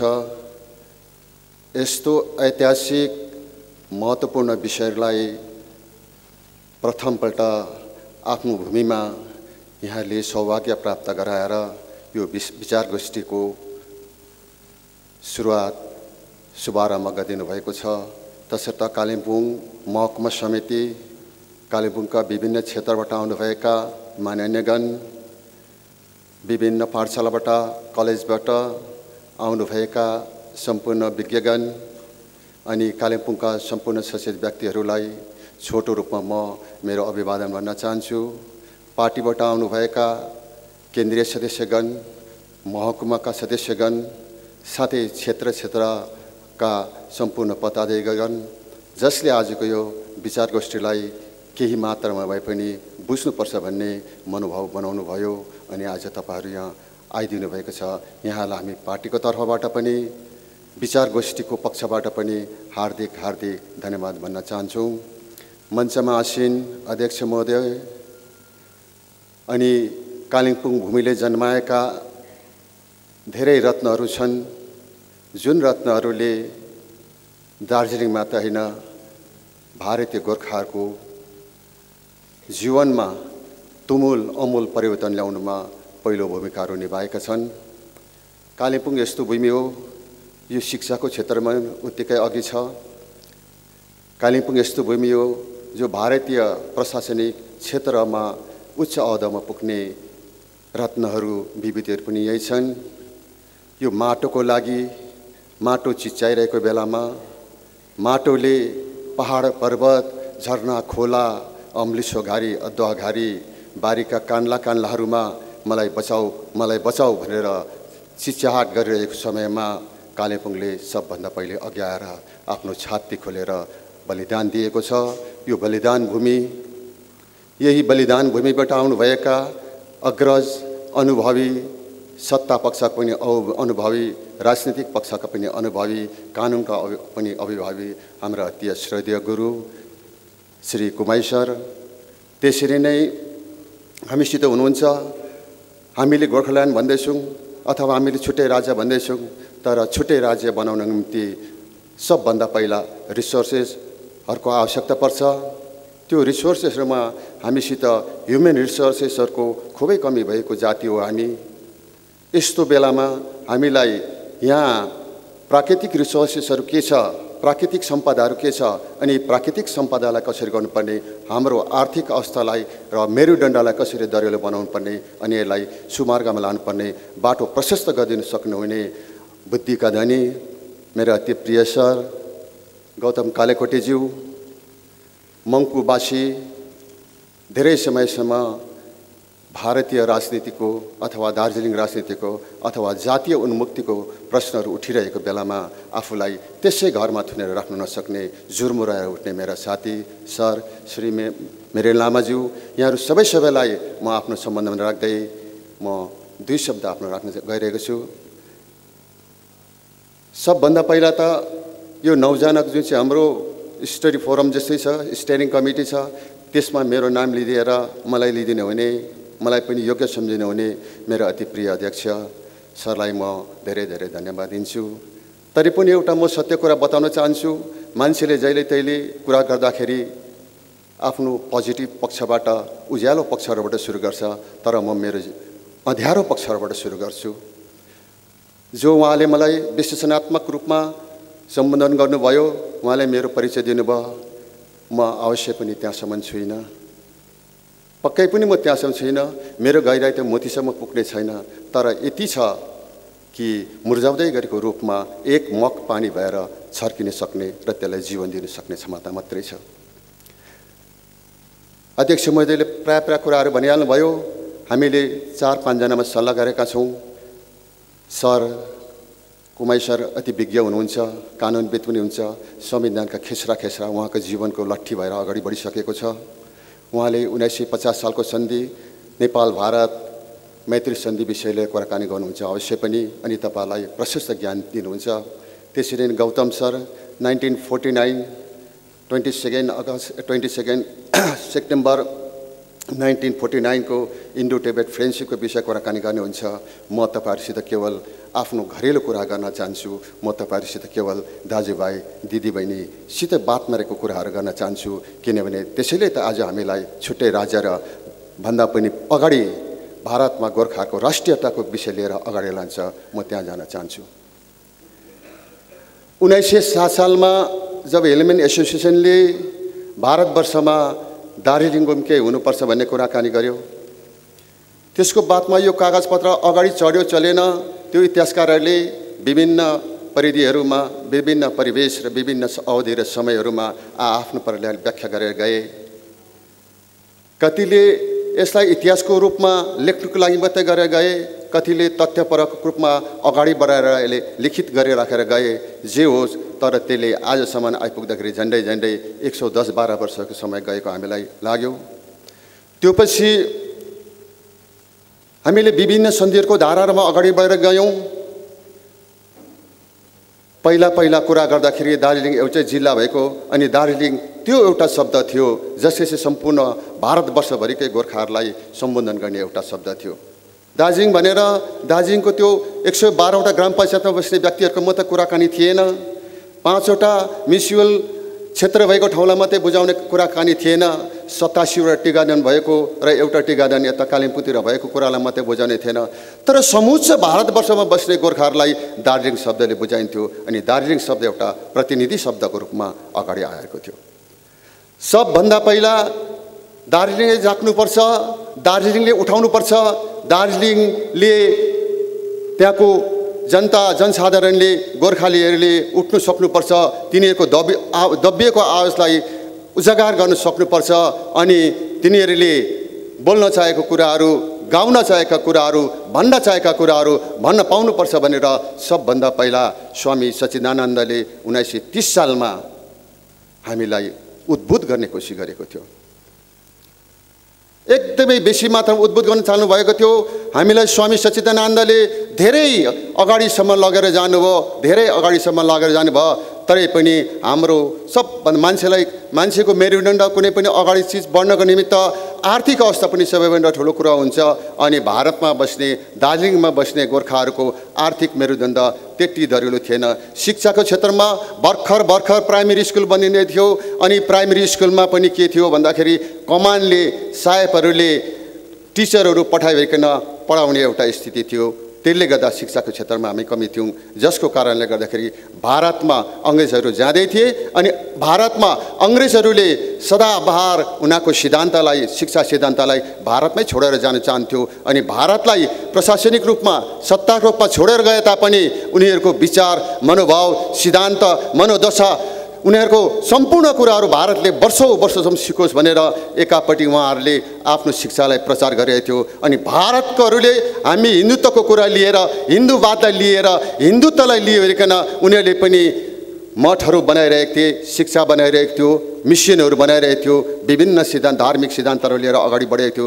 यस्तो समयमा बसेका हामी भारतीय गोर्खाहरूले आफ्नो परिचय पाउन निकै मुस्किल परेको थियो। आफ्नो परिचय खोज्नको निम्ति हामी डाँडा कन्डरा कराइरहेका थियौँ हिँडिरहेका थियौँ। पछिबाट उन्नाइस सय त्रिचालिस सालमा सर्वप्रथम कालिम्पोङका रत्नले डम्बर बाबुले अखिल भारतीय गोर्खालीको सृजना गर्नुभयो। त्यति नै बेला भारतीय कम्युनिस्ट पार्टीले पनि सुरुवात गर्यो अनि दुईवटा यो ट्रेड युनियनहरूले बिस्तारो बिस्तारो जहाँ जनसङ्ख्या बेसी थियो। सतासीवटा टी गार्डनको जनसङ्ख्या बेसी भएको कारणले गर्दाखेरि ट्रेड युनियन सबभन्दा पहिला जातिलाई उठाउनको निम्ति ट्रेड युनियनलाई अगाडि लिएर ट्रेड युनियनलाई लिइकन उनीहरू अगाडि बढे अनि उन्नाइस सय त्रिचालिस सालदेखिको उहाँहरूले हामीलाई भारतमा बस्ने हामी गोर्खाहरूलाई हाम्रो परिचयको निम्ति अगाडि बढेर लानुभयो लगेर जाँदा हुँदै थियो जानु हुँदै थियो। त्यो आवाज डम्बर बाबुले बोलेको आवाज भारतीय कम्युनिस्ट पार्टीले बोलेको आवाज दिल्लीसम्म पुग्यो। तत्कालीन बनिँदै गरेको सरकारले बुझ्यो भारत स्वतन्त्रको आन्दोलनमा होम्बिएका ती शहीदहरूले बुझे ती वीरङ्गनाहरूले बुझे अनि जुन जुन सत्तासीन भएर दिल्लीमा बसेका थिए उनीहरूले बुझे। जसको कारणले गर्दाखेरि अखिल भारतीय गोर्खालीको प्रतिनिधित्वलाई लिएर संविधान सभाको छब्बिसौँ सिरियल नम्बरमा उहाँलाई सही गर्नु लगाइकन भारतको पहिलो गोर्खाहरू पनि भारतको हो। भन्ने राष्ट्रको कुरा एउटापट्टि थियो भने राष्ट्रियताको परिचय दिएका थिए त्यहाँबाट पछि सदाका लागि समाप्त भएर गयो।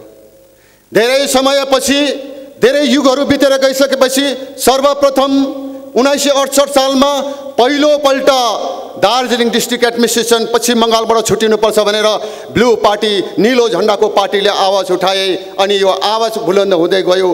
गइसकेपछि यिनीहरूले हामीले सबैलाई उनीहरूले अगाडि लगाए तरै पनि अघि हाम्रो मिरेन सरले भन्नुहुँदै थियो सरकारको पक्षबाट काहीँ न काहीँ कस्तो खालको प्रभाव पर्छ। क्लोज डोर एउटा प्रभाव छ प्रेसर छ त्यो क्लोज डोर प्रेसरले आजको दिनसम्म तपाईँलाई मलाई अगाडि बढ्न दिएको छैन।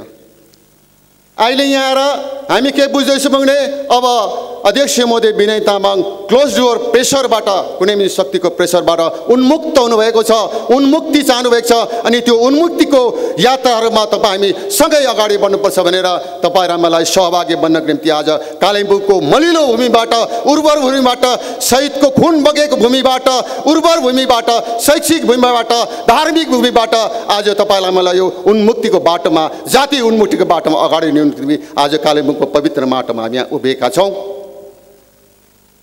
बाइस सेप्टेम्बर उन्नाइस सय उन्चासमा इन्डो टिबेट सन्धि भयो।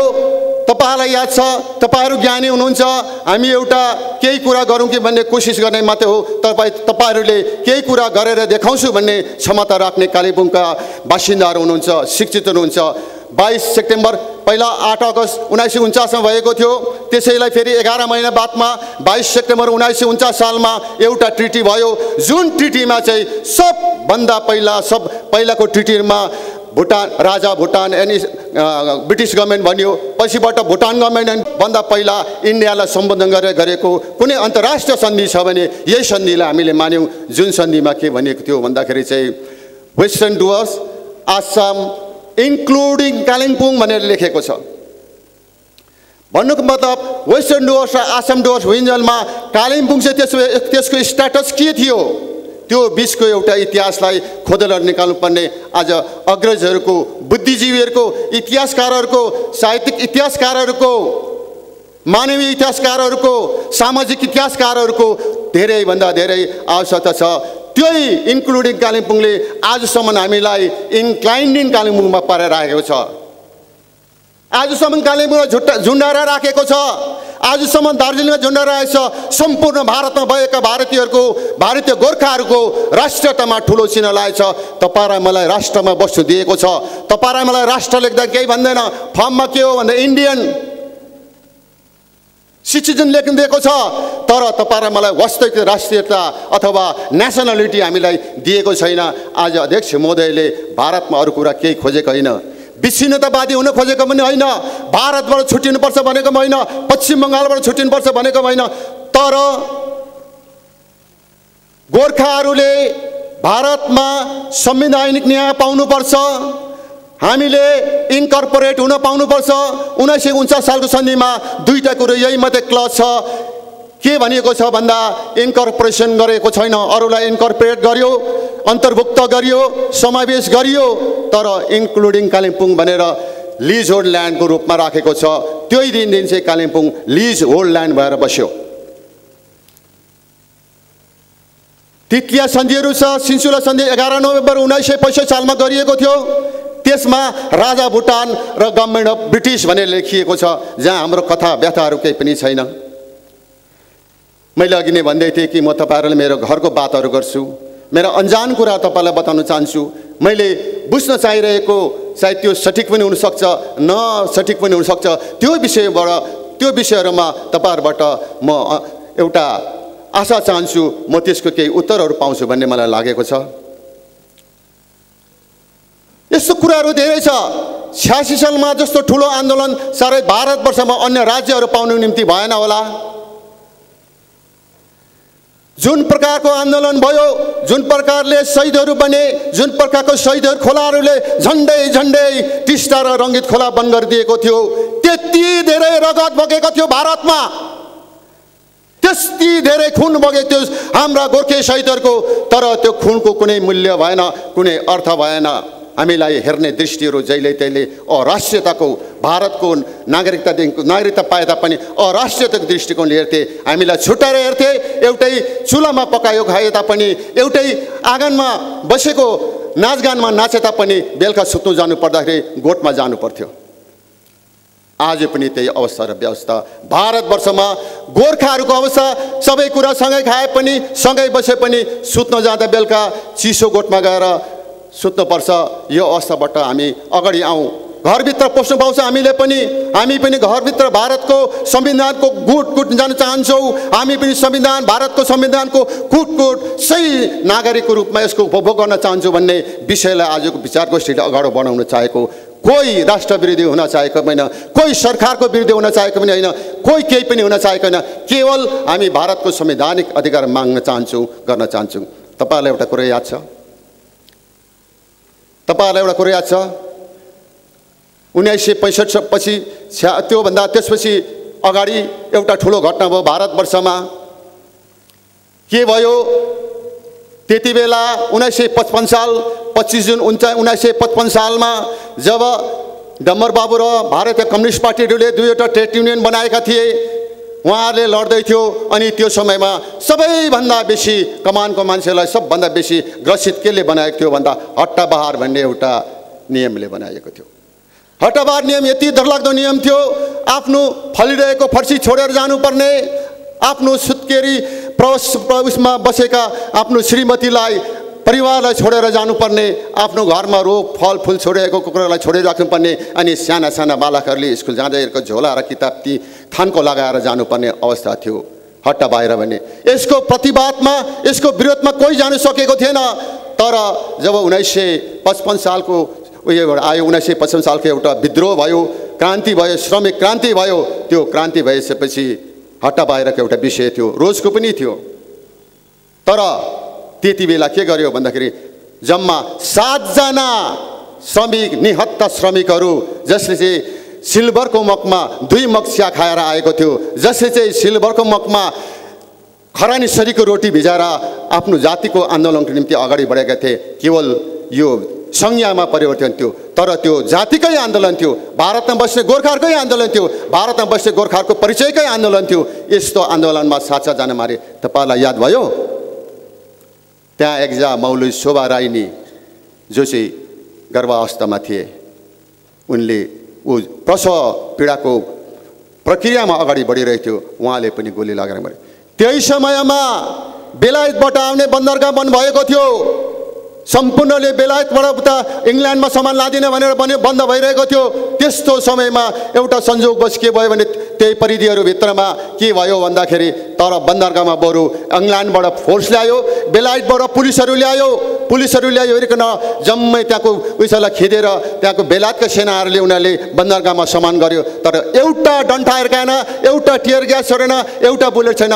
मैले यो प्रसङ्ग किन निकालेँ भन्दाखेरि हाम्रो भारतवर्षमा गोर्खाहरू हेर्ने जुन चाहिँ नजरिया छ त्यो नजरियाको एउटै कारण हो किनभने हामी भारतीय गोर्खा भइसकेका छैनौँ। आज संविधानमा सही गर्ने डम्बर बाबुले अखिल भारतीय गोर्खाली किन प्रतिनिधिले पाउनुभयो त्यो के थियो भन्दा उनीहरू भारतीय गोर्खा थियो। उनीहरू भारतीय गोर्खा थियो।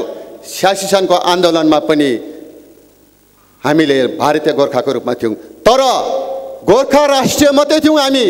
त्यो गोर्खा संसारमा एउटै मात्रै त्यस्तो जाति हो जसले प्रगाढ रूपमा टाउको छिटो देख्छ चिनारीको रूपमा छिटो देख्छ त्यो जाति चाहिँ हो हामी गोर्खाली जाति। छ्यासीको आन्दोलनमा बाह्र सय सहिद भयो अफिसियल सहिद भयो तर पछि गएर एउटा सानो व्यवस्थामा हामी अड्केर बस्यौँ। किन भन्दा सरकारको त्यहाँ सायद भुल थिएन होला। सरकार पक्षको सायद त्यहाँ ठुलो गल्ती थिएन होला। किन भन्दाखेरि कसले चाहिँ बाहिरको देशको गोर्खाहरूलाई चाहिँ आफ्नो देशमा शासन गर्नु दिन्छ? भारत जस्तो शक्तिशाली भारत जस्तो सिद्धान्तशाली भारत जस्तो वेद र वेदान्तले भरिपूर्ण भएकोलाई अन्य जातिकोलाई कसरी चाहिँ एउटा संवैधानिक ग्यारेन्टी भएको जातीयता दिन्थ्यो होला? कसरी संवैधानिक ग्यारेन्टी भएको सत्ता प्रदान गर्थ्यो होला? पछि दुई हजार सातमा आएर पनि हामी गोर्खा जनमुक्ति कहाँको गोर्खा? इङ्ल्यान्डमा सेना बन्दुक पड्काउँदै सन्तानको गोर्खा? नेपालमा राजशाही भएर बसेको गोर्खाको सन्तान वा नेपाल इन्डियामा भएपछि गोर्खा गोर्खा सेनाको सन्तान कहाँको चाहिँ गोर्खा हो? कुन चाहिँ राष्ट्रको राष्ट्रको गोर्खा हो? कुन चाहिँ राष्ट्रताको आधारमा फेरि दरिलो र संवैधानिक अधिकार प्राप्त दरिलो संवैधानिक अधिकारद्वारा प्रदत्त सत्ता र व्यवस्था दिन्थ्यो? त्यति बेला पनि गोर्खा थिएन। तर तपाईँहरू यता हेर्नु हुँदैछ अखिल भारतीय लेख्ने बित्तिकै आजभन्दा त्रिहत्तर बहत्तर त्रिहत्तर वर्ष अगाडि संविधानमा सही गर्ने अधिकार यही भूमिको माटोको छोरालाई दियो। त्योभन्दा पछि आज हामीले हेर्ने हो भने यो मेरो घरेलु कुरा हो। यहाँहरूले कसरी लिनुहुन्छ थाहा छैन। मलाई मनमा लागेको कुरा पनि हो। तर कहीँ न कहीँ यो एउटा धुवा बोकेको सानो छिल्का आगो पनि हो। त्यसरी पछिबाट गएर छ्यासी पछि पनि भारतमा छ्यासी पछि पनि भारतमा भारत सरकारले हाम्रो शहीद दुर्गा मल्लको भारत जस्तो महान संसदको अगाडि एउटा स्ट्याचु प्रतिमूर्ति बनाउने अधिकार दियो त्यो कसले चाहिँ कागजपत्र चलायो कसले बनाएको थियो भन्दाखेरि भारतीय गोर्खाले चलाएको थियो। भारतीय गोर्खा परिषदले चलाएको थियो। त्यहाँ भारतीय नागरिक पूर्ण रूपले स्पष्ट अनुहार थियो। तर हाम्रो आजसम्मको छुट्टै राजाको आन्दोलनमा हामी आन्दोलनकारीहरूको हाम्रो प्रष्ट नक्सा छैन प्रष्ट कुनै राष्ट्रियताको चिनारी छैन। आज आएर हामीले हामीले भारतीय आज गोर्खा भवन जथाभावी लडिजान्छ कलकत्तामा पनि गोर्खा भवन छ। हामीले त्यति नै बेलाका राजशक्तिहरूले यही लेख्नु पर्थ्यो भारतीय गोर्खा भवन। भारतीय गोर्खा भवन लेख्नु पर्थ्यो। नागाल्यान्ड नागाल्यान्डको जातिसित हाम्रो जस्तो जातीय जुन चाहिँ एउटा थुप्रो टिटीहरूद्वारा बस्ने ल्यान्ड पोसेसन अर्को कुरा पनि छ। राज्य हुनुको निम्ति सबभन्दा ठुलो कुरो ल्यान्डको पनि स्वामित्व हुनुपर्छ। हामीसित ल्यान्डको स्वामित्व छैन। जसले गर्दाखेरि हाम्रा अध्यक्ष महोदयले पार्टी महासचिव महोदयले बारम्बार हामीलाई काम गराइरहनु भएको छ पर्जापट्टामा जाऊ पर्जापट्टामा जाऊ पर्जापट्टामा जाऊ भनेर हामीसित पर्जापट्टा मात्रै आयो भने ल्यान्ड स्वामित्वको एउटा काज हामीले प्राप्त गर्छौँ हामीसँग कालिम्पोङमा त धेरैभन्दा धेरै बस्ती छ दार्जिलिङमा पनि धेरै बस्ती छ त्यहाँको पनि कागजपत्र तपाईँहरूलाई आफूलाई याद छ तपाईँ पनि बस्तीबाट आउनु सक्नुहुन्छ अथवा तपाईँको पनि कोही आफ्नो मान्छे बस्ती छ भने आज पनि त्यहाँ दुई खालको ल्यान्ड छ एग्रिकल्चरल ल्यान्ड र क्रप ल्यान्ड भन्छ। ए एग्रिकल्चर ल्यान्ड एउटा ब्यास्टेड ल्यान्ड भन्छ। त्यो एग्रिकल्चर ल्यान्ड पनि दुइटा छ क्रप ल्यान्ड छ। तपाईँले कुनै पनि सरकारी व्यवस्थाबाट तपाईँले लोन पाउनुपर्छ भने तपाईँको एग्रिकल्चर ल्यान्ड र क्रप ल्यान्ड हुनुपर्छ। बारान ल्यान्डबाट तपाईँले पाउनु भएको छैन। यो मैले कसरी थाहा पाएँ भन्दा म एउटा कुनै पनि यस्तो क्षेत्रको त्यो टिमको एउटा सदस्य हो। यो ल्यान्डको विषय हामीलाई थाहा छ। त्यसले गर्दा पर्जापट्टा हुनुपर्छ भन्ने कुरामा एउटै कुरो छ राष्ट्रियता हुनुपर्छ भन्ने कुरा। हाम्रो राष्ट्रियता हुन नितान्त आवश्यकता छ। ट्रिटीको विषय लिएर सरहरूले बोल्नुहुन्छ हाम्रो भइसकेको छ। मैले ट्रिटीको विषय कुराकानी के गर्नु परेन। अन्त म तपाईँहरूको धेरै समय लिन चाहन्न। र म यो तपाईँहरूलाई यही भन्न चाहन्छु आज कालिम्पोङको ल्यान्डमा आएर कालिम्पोङको भूमा भूभागमा आएर यो पवित्र भूमिमा आएर तपाईँहरू जस्तो महान व्यक्तित्वहरूको अगाडि मैले दुईवटा शब्द जाने जानेर राख्न सकेँ। अनि यो राख्नुको मेरो एउटै उद्देश्य पनि थियो कि तपाईँहरूको भूमिबाट पक्कै पनि यो आज जुन चाहिँ हामीले विचार गोष्ठीमा राखिएको विषय छ हाम्रो संवैधानिक अनुसार भारतको मा बस्ने भारतीय गोर्खाहरूले पनि भारतको संविधानको प्रत्येक अनुच्छेदहरूको सही उपभोग गर्न पाउनुपर्छ र हामीले यो उपभोग दिनुपर्छ। हामी कोही विच्छिन्नतावादी होइन हामी कोही राष्ट्र विरोधी होइन भन्ने जुन चाहिँ विषयवस्तुलाई अगाडि बढाउँथ्यो आज यहाँबाट अगाडि बढाएका छौँ। र यो मौका तपाईँहरूले दिनुभएको छ। यसको निम्ति म यहाँहरूलाई धेरै धेरै धन्यवाद भन्दै म आज मेरो प्रथम कुरोलाई यहाँ राख्न चाहन्छु धन्यवाद। अब हामी अति अहम विषयतिर लम्कँदैछौँ अब हामीसित दुईजना यस्ता व्यक्तित्वहरू छन्। उहाँहरूबाट यो सन्धि विषय लिएर तपाईँले जानकारी लिनुहुनेछ। तत्पश्चात हामीले एउटा बिचमा कार्यक्रम पनि राखेका छौँ कि हामी उहाँहरू चारजना बोलिसके पश्चात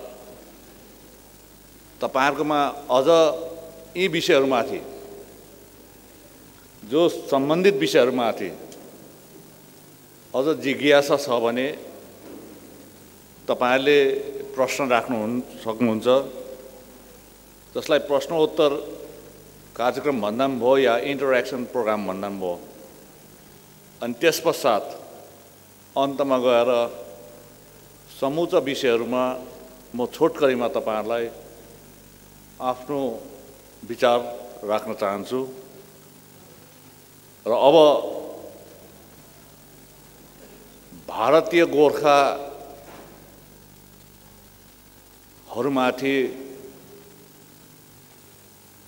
जहिले पनि ग्रहण लागिरहेको अनुभव हामीले गरिरहेका छौँ। यो किन ग्रहण लागिरह्यो? किन उज्यालोमा पनि हामी अँध्यारोमा हिँड्न परिरहेको छ? यतिका वर्षसम्म हामी चिच्याउँदै कराउँदै पनि आयौँ न्याय पनि माग्यौँ अधिकार पनि माग्यौँ। धेरै हाम्रो सन्तानहरूले ज्यान पनि गुमाए। धेरै हाम्रो नारी चेलीहरू विधवा पनि भए। धेरै हाम्रो ससाना सन्तान टुरा टुरी पनि भए। धेरैको सिन्दुर पनि पुछियो। धेरैको काग पनि रितियो र पनि भित्र अँध्यारो हुँदा हुँदै पनि बाहिर हामी हाँस्नुपर्ने एउटा बाध्यता पनि छ यो भारतमा। र यिनै कुरोलाई जुन एक विशेष सन्धि जसले भारतीय गोर्खाको आङमा आजसम्म पनि घाम लागेको छैन। र यिनै सन्धि अङ्ग्रेजीमा Indo Nepal peace and friendship treaty nineteen fifty अथवा भारत नेपाल शान्ति अनि मैत्री सन्धि उन्नाइस सौ पचासलाई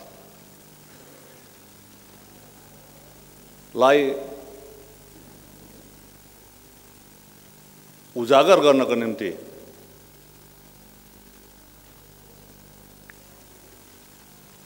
त्यस्ता व्यक्ति जो तपाईँहरूको कालिम्पोङको एक एउटा हिरा नै भन्छु म त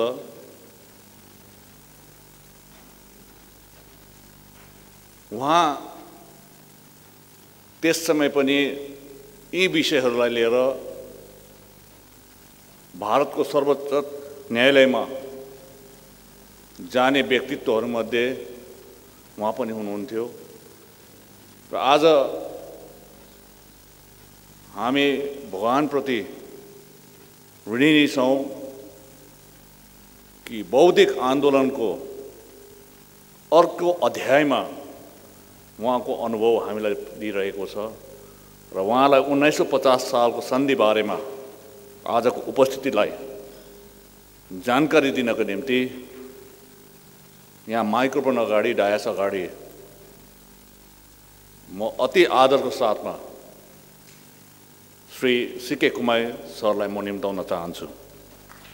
समय धेरै भयो त्यसले गर्दाखेरि सम्बोधनको कार्यक्रममा समग्र एकैचोटि लिन्छु। आजको जति रिसोर्स पर्सन्सहरू हुनुहुन्छ शोधकर्ताहरू अनि यहाँ मेरो अघि बस्नुभएका दाजुभाइ दिदीबहिनीहरू यो बडा गहन विषयमा आज बोल्नुपर्ने एउटा परिस्थिति खडा भयो। विशेष गरेर आजकोदेखि केही दिन अगाडि मात्रै हाम्रो एउटा सानो सानो समस्याको समाधान हेतु श्री विनय तामाङ सरलाई हामीले भेट्नु पर्यो। यो कालिम्पोङ अनि दार्जिलिङमा एउटा समस्या छ। जमिनको समस्या। जसलाई डिआई फन्डवासीहरूले भोगिरहेका छन्। अनि कालिम्पोङमा मात्रै छ डेभलपमेन्ट एरिया। त्यहाँका वासीहरूले भोगिरहेका छन्। उहाँहरूको समस्याको समाधान हेतु उहाँलाई उहाँसँग भेट भयो मेरो यहाँ पार्टी अफिसमा। र उहाँले भन्नुभयो यो मैले यो ट्रिटीको विषयमा उजागर गरेको छु। मेरो नयाँ विचार जुन चाहिँ सोच छ तपाईँहरूले सायद सुन्नुभयो होला तपाईँ त्यसमा के भन्नुहुन्छ? के विचार आएको छ तपाईँलाई भन्दाखेरि यो जुन चाहिँ तपाईँले उत्थान गर्नुभएको कुरा छ त्यसलाई मेरो हार्दिक समर्थन छ। अनि हामीले दुःख पाएको पनि यो कतिवटा ट्रिटिजहरूले गर्दा नै हामीले दुःख पाएको। भारतीय गोर्खाजहरूले दुःख पाएको चाहिँ कतिवटा ट्रिटिजहरूले गर्दा नै हो। मैले उहाँलाई यही भने त्यहाँदेखि उहाँले उहाँले यो कमिटीभित्र हालिदिनु भयो म त्यस्तो भयङ्कर एउटा रिसोर्स पर्सन पनि होइन त्यस्तो भयङ्कर जान्ने मान्छे पनि होइन। तर जातिलाई पढ्दै पढ्दै आउँदाखेरि जातिलाई पढ्दै पढ्दै आउँदाखेरि हामीले समय समयमा पटक पटकमा विभिन्न उसबाट हामीले योगदान गर्दै आएको। अब म विशेष गरेर जुन ट्रिटीको मलाई भारत नेपालको फ्रेन्डसिप ट्रिटी नाइन्टिन फिफ्टीको विषयमा यहाँनिर दुई चार कुरा भनिदिनु भनेको उहाँलाई धन्यवाद छ। यस विषयमा हामीलाई यो ट्रिटीले विशेष गरेर भारतमा बस्ने गोर्खाहरूलाई पिरोल्ने चाहिँ यही ट्रिटी जस्तो लाग्छ मलाई। कारण यो ट्रिटीको जुन भूभाग जुन जुन जुन विषयहरू लेखिएको छ यो ट्रिटीको कुरा हाम्रो यहाँ अघि भएको गर्दै आएको धारा सात त हामीले जलाएको धारा भारत नेपालको मैत्री सन्धिको पचास सालको सन्धिको धारा सातलाई छ्यासीको आन्दोलनमा गएर श्रीमान सुभाष घिसिङको नेतृत्वमा त्यसलाई जलाइएको। किन जलाइयो? त्यसको कारण के थियो भन्दाखेरि त्यो म त्यही लाइन पढेर मात्रै सुनाउँछु। एकदम स्पेसिफिक धारा सातमा लेखिएको छ the Government of India and Nepal agree to grant on reciprocal basis to the nations, nationals of one country in the territories of the other the same privileges in the matter of residence, ownership of property, participation in trade and commerce, movement and other privileges of a similar nature. अर्थात् यहाँ के भनिएको छ भनेदेखि चाहिँ भारतको नागरिक होस् वा नेपालको नागरिक होस् दुवैलाई दुवैको देशमा रेसिप्रोकल बेसिसमा के के गर्न पाइन्छ भने भने त्यहाँ गएर बस्न पाइन्छ सम्पत्ति अर्जन गर्नु पनि पाइन्छ त्यहाँनिर व्यापार वाणिज्यमा पनि भाग लिन पाइन्छ अनि खुल्ला पाराले मुभमेन्ट गर्नु चाहिँ पाइन्छ अनि अरू प्रिभिलेजेसहरू पनि पाइन्छ भनेर भन्यो अर्थात् हामीलाई यो सन्धिले गर्दाखेरि चाहिँ कुनै किसिमको पासपोर्ट लागेन। यो पासपोर्ट नला खुल्ला बोर्डर भयो।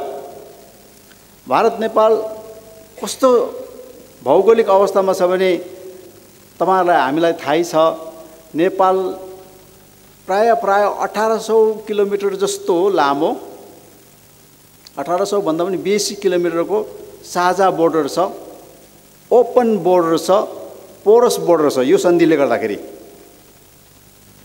त्यसले गर्दाखेरि नेपालको हाम्रो अनुहार सबै मिल्छ हाम्रो कल्चर मिल्छ कस्टम मिल्छ ट्रेडिसन मिल्छ युसेज सबै नेपालको नागरिक नेपाली जोहरू छन्। अनि भारतवर्षमा हामी बसेको जुन गोर्खाजहरू छौँ हाम्रो सबै मिल्छ।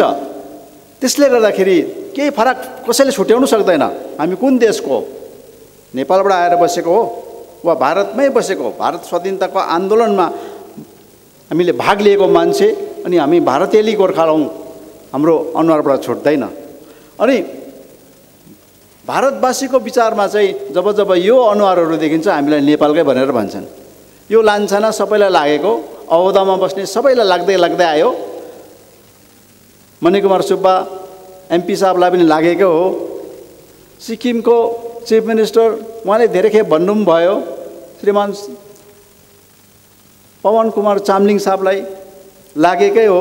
त्यस्तै गरेर अरू लाग्दै लाग्दै गरेर वर्तमान चाहिँ हाम्रो अनित थापाज्यू अहिले वर्तमान चेयरम्यान जिटिएलाई पनि अहिले वर्तमान लागेको छ।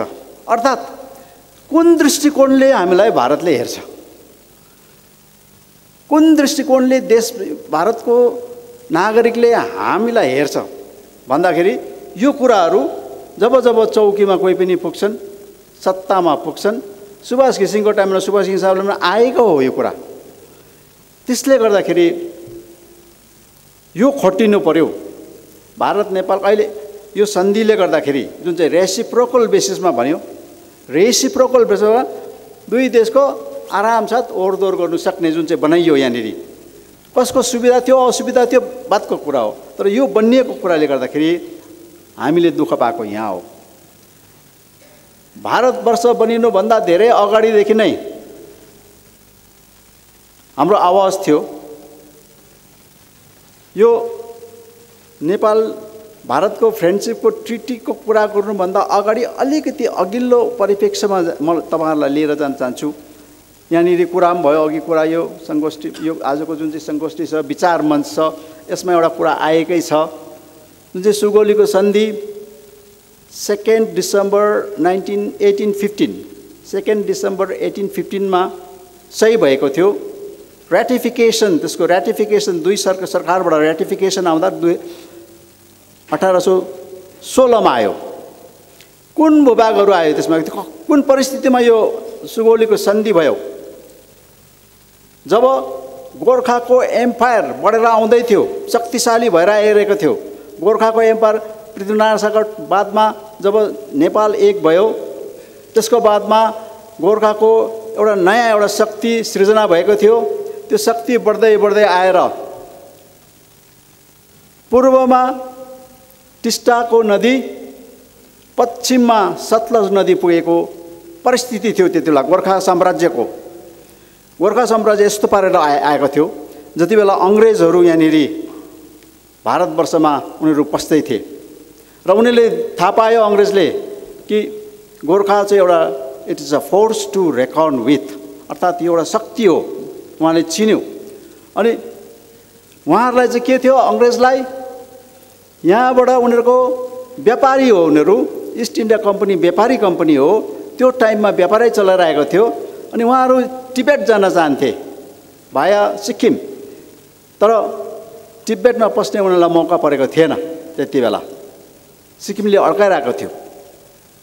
र यो ट्रिटी जब बनियो सुगोलीको सन्धिको भूभाग पाँच किसिमको भूभाग त्यहाँ ठुलो नालापानीको युद्ध भयो तपाईँहरूलाई थाहै छ यो युद्धको कथाहरू। त्यसको बादमा गएर यो ट्रिटी भयो। ट्रिटीको पाँच किसिमको भूभागमा एक किसिमको भूभाग चाहिँ हामी यहाँभित्र पस्यौँ। जुन भूभाग हजुरलाई म पढेर सुनाउँछु। यो कस्तो पाराले आयो यो भूभाग भन्दाखेरि चाहिँ इट वाज सिडेड सिसेसन गरेको छ नेपालले। The Raja of Nepal hereby cedes to the honourable East India company in perpetuity all under mention territories नेपालको राजाले चाहिँ सधैँ सन्धिको निम्ति for all time to come in perpetuity भनेको for all time to come यी भूभागहरू दिए त्यो भूभागमा the low lands lying between river Kali and Rapti त्यहाँ अहिले अलिकति त्यहाँनिर यो काली र राप्तीको विषयमा काली नदीको त्यहाँको छेउको लिपुलेखको कुराहरू तपाईँले सुनिरहनु भएको छ काली त्यसको कुरा सुनिरहनु भएको छ यो भूभागको अब हामी चाहिँ कुन भूभागमा पर्छ भन्दा पाँचमा भूभाग all territories within the hills eastward of the river Mechi including the fort and lands of Nagari and pass of Nagarkot leading to the Morong into the hills, together with territory lying between the pass of Nagari. The aforesaid territory shall be evacuated by the Gorkha troops within 40 days from this day. यो भूभाग चाहिँ कसरी आएको थियो भनेदेखि यो भूभाग किन गाभियो भन्दाखेरि चाहिँ योभन्दा अलिक अगाडि केही वर्ष अगाडि केही काल अगाडि जङ्गबहादुर राणाको समयमा सिक्किमबाट यो एनेक्स गरेर नेपालमा गाभिएको थियो यो भूभाग। यो पर्टिकुलर पाँच नम्बरको भूभाग चाहिँ सिक्किमबाट लडाइँ गरेर उहाँहरूले एनेक्स गरेर जङ्गबहादुर राणाको टाइममा यो नेपालमा गाभिएको भूभाग हो। अनि माखामा आएर त्यहाँनिर एउटा सिंहासन बनाइएको थियो जङ्गबहादुर राणालाई। अहिले पनि त्यो माखाको जग्गा त्यहीँ छ। र यो भूभाग जुन छ यो भूभाग हामी आज दार्जिलिङ टिस्टादेखि पश्चिमको भूभाग अनि मेची नदीको पूर्वको भूभाग यो दार्जिलिङको भूभाग जुन चाहिँ अम्बारी फालाकाटासम्म पुग्छ यो भूभाग गाभिएको हो त्यहाँनिर। अठार सौ पन्ध्र सालमा। यो सन्देहको निम्ति थियो। अब यो इस्ट इन्डियाको जुन चाहिँ ट्रिटी भयो।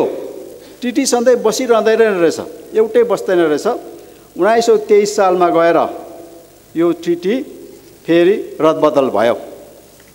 उन्नाइस सौ तेइस सालमा नेपाल र ब्रिटेनको बिचमा अर्को सन्धि भयो।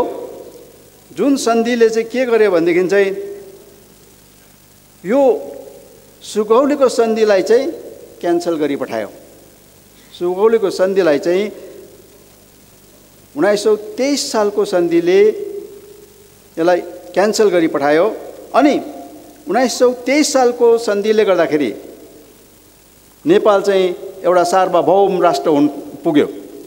सोभरेन कन्ट्री हुनु पुग्यो। अनि उसले त्यस बेला लिग अफ नेसन्समा मेम्बरसिप पायो नेपालले। त्योभन्दा अगाडि पाएको थिएन लिग अफ नेसन्समा अनि उन्नाइस सौ तेइस सालको जुन चाहिँ सन्धि छ त्यो सन्धिले चाहिँ नेपाललाई चाहिँ सार्वभौम राष्ट्र बनायो। अनि नेपाल लिग अफ नेसन्स पछि गएर युएनओमा त्यो मर्च भएर गएर अहिले प्रेजेन्ट युएनओ छ मेम्बर हुन पुग्यो। र यो भूभागमा जुन चाहिँ सुगोलीको सन्धिको भूभागमा बस्ने जुन मानिसहरू थिए यो पाँच नम्बरको जुन चाहिँ भूभाग छ टिस्टादेखि पश्चिम मेचीदेखि पूर्वको जुन भूभाग अहिलेको दार्जिलिङ खरसाङ सिलिगुडी यो भूभाग त्यति बेला गाभिएको थियो यहाँ। त्यो इस्ट इन्डिया कम्पनीलाई दिएको थियो। इन पर्पेचुटी सधैँको लागि सिसिड गरेको यो भूभाग। र यो भूभागको इतिहास ठिकसँगले यहाँको बासिन्दा चाहिँ को थियो त त्यति बेला?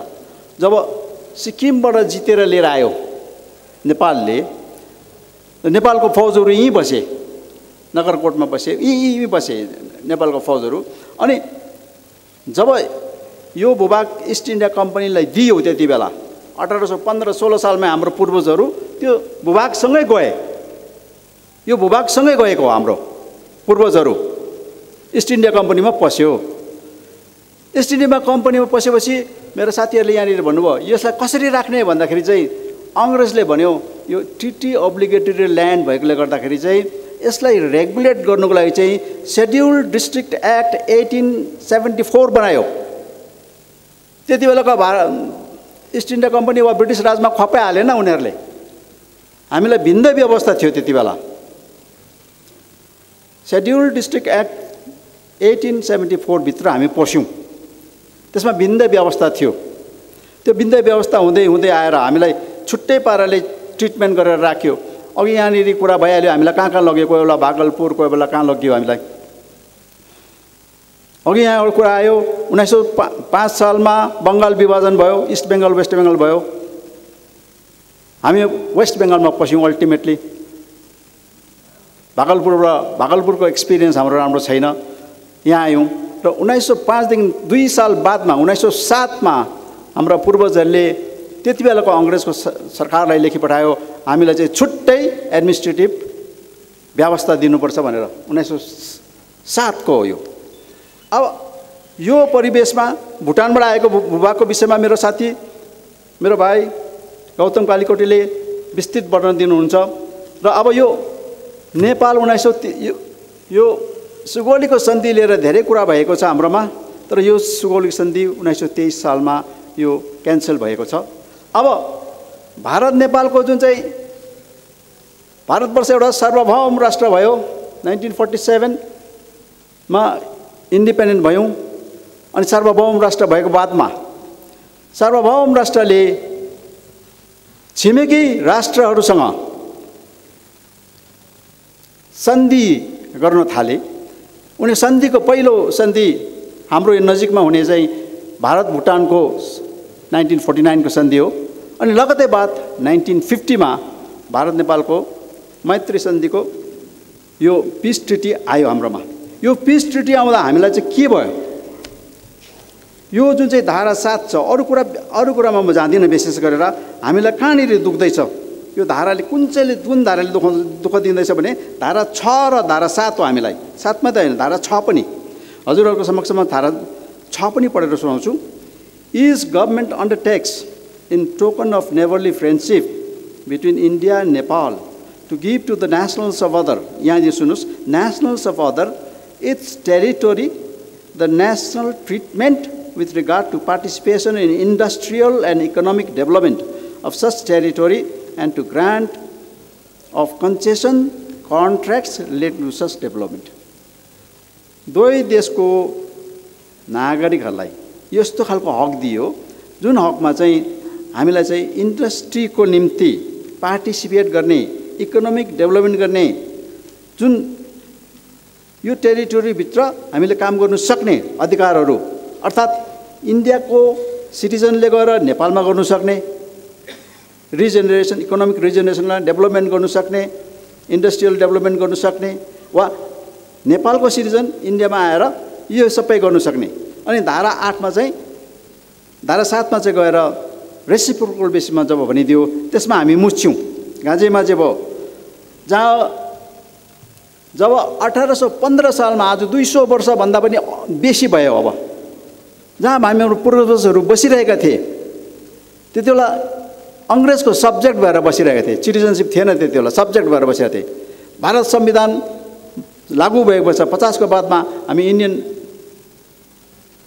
इन्डियाको हामी बाकायदा हामी चाहिँ सबै नै यो भूभागमा बस्ने मानिसहरू सबै इन्डियन सिटिजन भयौँ अनि यो भूभाग मात्रै होइन भारतवर्षमा बस्ने सबै मान्छेहरू जब इन्डियन सिटिजन भए हाम्राहरू पनि भए यहाँ छुट्याउने एउटा डिमार्केटिङ लाइन चाहिँ हाम्रो भएन। को चाहिँ नेपालबाट आएको हो? को चाहिँ ओरिजिनल इन्डियन इन्हेबिटेन्ट्सहरू रेसिडेन्ट्सहरू हो? त्यो चाहिँ छुट्याउने यहाँनिर कुनै डिमार्केटिङ लाइन छैन हाम्रो जसले गर्दा हामीले दुःख पायौँ। अब आज एउटा कुरा एउटा यस्तो छ यो पचासको सन्धि जुन चाहिँ छ अब यो भएको पनि पचास साठी सत्तर वर्ष भयो। अब यसको रिभ्यूको कुरा हुँदैछ यसको रिभ्यू हुँदैछ। नेपालबाट नेपालको देशले पनि यसलाई रिभ्यू हुनुपर्छ भनेर भन्यो। धेरै खेप माग भयो नेपालबाट आयो। भारतको सरकारले पनि यसलाई मान्यता दियो। भारतको सरकारले पनि यसलाई रिभ्यू हुनुपर्छ भनेर भन्यो। अनि सुषमा स्वराज जति बेला विदेशको मन्त्री हुनुहुन्थ्यो उहाँ नेपालमा गएर यो कुरा गरेर हामी चाहिँ यसलाई रिभ्यू गरौँ भनेर उनीहरूले रिभ्यू गर्ने बुदाहरू खडा गरे। रिभ्यूको बुदाहरू खडा गरेर यो भारत नेपालको मैत्री जुन चाहिँ ट्रिटी छ यसलाई अब रिभ्यू गर्नुपर्छ अनि नयाँ बनाइदिनुपर्छ अहिलेको प्रेजेन्ट रियालिटिजहरूलाई लिएर प्रेजेन्ट पर्सपेक्टिभ्सहरूलाई लिएर यसलाई बदली गर्नुपर्छ र नयाँ बनाउनुपर्छ। जस्तो भुटानको ट्रिटी फोर्टी नाइनमा नाइन्टिन फोर्टी नाइनमाको ट्रिटीलाई न्यू पर्सपेक्टिभमा न्यू रियालिटिजहरूमा न्यू जेनेरेसन्सहरूमा नयाँ विचारधारा आएको बा बादमा चेन्जेसहरू आएर दुई हजार सातमा चेन्ज गर्यो। त्यही आधारमा भारत नेपालको पनि सन्धि चाहिँ रद बदल हुनुपर्छ भनेर विचारधारा आएर भारतको सरकारले पनि यसलाई मान्यता दिएको छ। सुषमा स्वराज जति बेला भारतको के अरे एक्सटर्नल अफेयर्स मिनिस्टर यसलाई स्वीकृति भइसकेको छ। दुई पक्षबाट स्वीकृति भएको छ। तर त्यो त्यत्तिकै बसिरह्यो। यसले अगाडि जानु सकेन। जानु नसक्दाखेरि दुई हजार सोह्रमा गएर चौधमै सुरु भएको हो। चौधमा सुरु भएर गएर जब मोदीको सरकार आयो श्रीमान नरेन्द्र मोदी साहबको सरकार आयो त्यसको बादमा चौधमा उहाँ नेपाल जानुभयो उहाँलाई ठुलो स्वागत भयो। अनि यो कुरा आयो यसलाई रिभ्यू गर्नुपर्छ भनेर अनि यसलाई त्यसलाई मान्यता सरकारको पक्षबाट भारतको सरकारबाट पक्षबाट भएको छ। अनि त्यसको बादमा दुई हजार सोह्रमा गएर एउटा एमिनेट पर्सन्स ग्रुप भनेर आठजनाको दुई देशको व्यक्तिहरू इमिनेन्ट पर्सन्सहरूलाई लिएर एउटा कमिटी खडा भयो ग्रुप खडा भयो। उहाँहरूले चाहिँ यो विषयमा सबै विचार सबै खोज लिएर के के चाहिँ बदली गर्नुपर्ने कहाँ कहाँ बदली गर्नुपर्ने यो कुराहरूलाई लिएर उहाँलाई एउटा टर्म्स अफ रेफरेन्स दियो। र उहाँहरूले यो सबै दुई वर्षको समय थियो उहाँलाई दिनुपर्ने। दुई वर्षभित्रमा बुझाउनु पर्ने तर दुई वर्षदेखि अगाडि गएर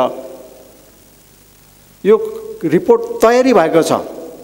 अब रिसिभ गर्नुपर्छ। दुइटै दुइटै देशले यसलाई रिसिभ गर्नुपर्छ। रिपोर्ट तयारी भयो। रिपोर्ट तयारी भएको अब जुन महिनामा तयारी भएको दुई हजार बिसको। तर अहिलेसम्म यसलाई उजागर गरेको छ उनी गभर्मेन्टको अफ इन्डियाले पनि रिसिभ गरेको छैन। गभर्मेन्ट अफ नेपालले पनि रिसिभ गरेको छैन।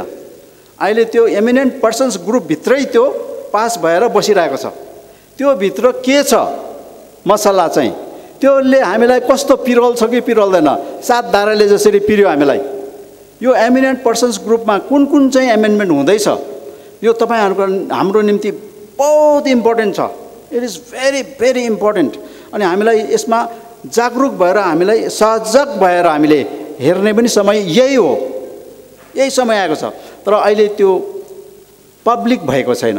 कारण भारतको सरकारले अहिलेसम्म त्यसलाई रिसिभ गर्ने एउटा सौजन्य मुहुर्त आएको छैन। साथै नेपालको सरकारमा पनि त्यो आएको छैन। यो बिचमा त्यो सिमाना लिएर विवाद खडा भयो। काली नदीको विषयमा जुन चाहिँ विवाद खडा भयो त्यसले गर्दा एउटा परिस्थिति खडा भयो। अहिले चेन्ज नेसनको हिसाबमा हेर्नु भने अहिले चेन्ज एउटा परिस्थिति छ। त्यसले गर्दा यो इमिनेन्ट पर्सन्स ग्रुप जुन चाहिँ छ जसको रिपोर्ट छ अहिले भारत सरकारमा बुझाइएको छैन अनि भारत सरकारले लिएको पनि छैन। त्योभित्र तपाईँ हामी पस्छौँ फेरि यो भित्र हामी पस्छौँ। यो टिटीले हामीलाई कता लगेर राख्छ फेरि? यो टिटीले हामीलाई कहाँ लगेर राख्छ? यसले गर्दाखेरि यो जुन चाहिँ अहिले एउटा विचार मञ्च यहाँ यहाँ विनय तामाङ भाइले खडा गर्नुभयो एउटा विचार मञ्च खडा गर्नुभएको छ अहिले एउटा विचारधारा आयो यहाँनिर कि भारतमा बस्ने जो हामी भारतको सिटिजन्सहरू छौँ गोर्खा सिटिजन्सहरू छौँ उसको चाहिँ कहाँनिर चाहिँ गएर हामी टुङ्गो लाग्ने? कारण यो ट्रिटिजहरूले हामीलाई बाँध्दैछ। कारण यो ट्रिटिजहरूले बाँध्दैछ हामीलाई। किनभने हाम्रो बङ्गालमा जस्तो हाम्रो राज्य छैन त्यसले गर्दा बङ्गाललाई प्रब्लम भएन बङ्गलादेश हुँदा पनि। पन्जाबको पनि राज्य छ। पन्जाबको पारिपट्टि पनि पन्जाबीहरू छ। पाकिस्तानमा पनि पाकिस्तानी पन्जाबीहरू धेरै छन्। उनीहरूको नेसनल्सहरू छन्। पाकिस्तानमा पनि प्रब्लम भएन। तर हामीलाई चाहिँ एउटा प्रब्लम छ यो। कारण रेसिप्रोकल बेसिसमा जुन चाहिँ राखिएको छ अब खुल्ला बोर्डर डम्मै बन्द गर्ने प्रश्न पनि छैन। अनि खुल्ला बोर्डरमा नाना किसिमको तस्करीहरू भइरहेको छ। दुई हजार पन्ध्र सोह्रको जुन चाहिँ नेपाललाई एउटा आपद विपद आइलाग्यो त्यसले गर्दा नेपाल पनि सजग भएको छ। र दुई देशको जुन चाहिँ कुरा छ त्यो भित्र चाहिँ आज हामी चेप्टा खाएको छ। हामी यहाँको मान्छे। र उहाँले जुन चाहिँ कुरा निकाल्नु भएको छ इट्स भेरी इम्पोर्टेन्ट भेरी हामी हाम्रो लागि एकदमै गाँठी कुरा छ यसले। र उहाँले तिनवटा कुरा भन्नुहुँदैछ। आज यो मञ्चबाट तिनवटा कुरा भनिँदैछ। प्रिटी अफ टेन्स यसलाई चाहिँ यसको कतिवटा धारा मुद्दाहरूले चाहिँ जसले हामीलाई दुःख दिइरहेको छ त्यसमा एमेन्डमेन्ट हुनुपर्छ भन्ने कुरा छ। भुटानकोमा पनि एमेन्डमेन्ट हुनु भन्ने कुरा छ। र यो सही कुरा छ अनि समय सही समय पनि हो। एकदम सही समय हो। त्यो रिपोर्ट एमिनेन्ट पर्सन्स ग्रुपले दिएको रिपोर्ट भारतको सरकारले मान्नु पनि सक्छ नमान्नु पनि सक्छ? वा नेपालको सरकारले त्यसलाई मान्नु पनि सक्छ नमान्नु पनि सक्छ? यस्तो प्रावधान छ त्यहाँनिर। तर तपाईँ हाम्रो त्यो जान्ने चाहिँ अधिकार छ। के चाहिँ लेखेको छ त्यहाँनिर? जान्ने चाहिँ हाम्रो अधिकार छ जसले चाहिँ हाम्रो भविष्य निर्धारण हुन्छ। त्यसले गर्दाखेरि यस्तो एउटा क्रस रोडमा अहिले हामी उभिरहेका छौँ। आजको सङ्गोष्ठी जुन चाहिँ छ विचार मञ्चको जुन चाहिँ सङ्गोष्ठी छ सही समयमा सही ठाउँमा उठाएको यो मुद्दा हो। अनि हामीलाई चाहिँ त्योभित्र जान्ने बहुत सबैले सजग भएर हामी सबै गोर्खाले इन्डियामा बस्ने सबै गोर्खाले सजग भएर हेर्ने समय आएको छ आज। इन्डियन गोर्खाजहरूलाई एफेक्ट गर्छ त्यसले गर्दाखेरि आज यो सङ्गोष्ठी तपाईँले राखिदिनु भयो धन्यवाद छ त्यसको निम्ति। म बेसी समय लिँदिनँ। यतिमै मेरो जुन चाहिँ मैले भन्ने कुरा मोटामोटी राख्ने एउटा कोसिस गरेँ यसमा अझै अध्ययन गरेर अझै विस्तृत यसको चर्चा हुनुपर्छ। त्यो चर्चाको विषय त्यसभित्र हाम्रो त्यो इमिनेन्ट पर्सन ग्रुपभित्र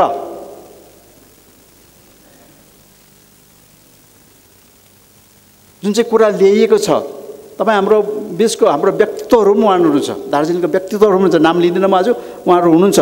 तर उहाँले आएर हामीलाई भन्नु सक्नु हुँदैन। जबसम्म यो पब्लिक डोमेनमा ओपन हुँदैन उहाँले आएर भन्नु सक्दैन हामीलाई। तर यो कुराहरू आउँदैछ यहाँनिर। कुन कुन धारा रदबदल हुने अब हामीलाई पनि थाहा छैन। तर यो कुरा नौवटा मिटिङमा नौवटा मिटिङ भएको छ यसको। नौवटा मिटिङमा छानबिन भएर रिपोर्ट तयारी छ। यसभित्र हाम्रो भविष्य निर्धारण हुने कुरा छ। त्यसले गर्दाखेरि चाहिँ हामी सजग हुने टाइम छ। बेला we must be very careful we must be very alert this is the time हजुरहरूलाई म यो आह्वान गर्न चाहन्छु अनि जति पनि हामी यहाँ समाजसेवीहरू छौँ बुद्धिजीवीहरू छौँ बौद्धिक चेतना भएका व्यक्तिहरू छौँ हामी सबै सजग भएर यसलाई चाहिँ हामीले यो विचार मञ्च विचार गोष्ठीले जुन चाहिँ कुरा राखेको छ भारतमा हामीलाई संवैधानिक जुन चाहिँ मान्यता पाउनुपर्छ संविधानभित्र जस्तो गरेर हामीलाई चाहिँ जुन चाहिँ दो एउटा दोषको नजरले दुविधाको नजरले भारतको भारतवासीले नै हेर्ने गरेको छ हामीलाई। हामीलाई नेपालकै भन्ने भन्दैछ। त्यो छुट्टिनुपर्ने समय आएको छ आज। सत्तर वर्षमा जुन चाहिँ एक्सपिरियन्स हामीले गऱ्यौँ जुन तितो अनुभव छ हाम्रो। यसलाई छुट्टिने समय आएको छ। हामी एउटा मिनिस्कल एउटा मिनिस्कल भारतको टोटल पपुलेसनमा हामी मिनिस्कलमा डेढ करोड भनेर भन्दैछौँ। अघि त्यसको डेढ करोडको पनि अघि कुरा आयो। डेढ करोड भनेर भन्दैछौँ। एक सय पैँतिस करोडमा हामी मिनिस्कल हो। माइनोरिटी कम्युनिटी हो।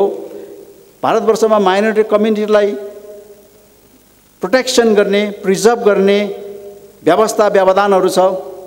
वेस्ट बेङ्गालमै भन्नुभयो भने यहाँनिर एङ्ग्लो इन्डियन कम्युनिटीलाई त्यो व्यवधान दिएको छ।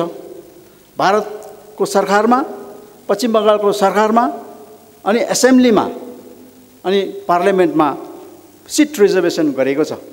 उहाँहरू किनभने माइनोरिटी कम्युनिटी हो।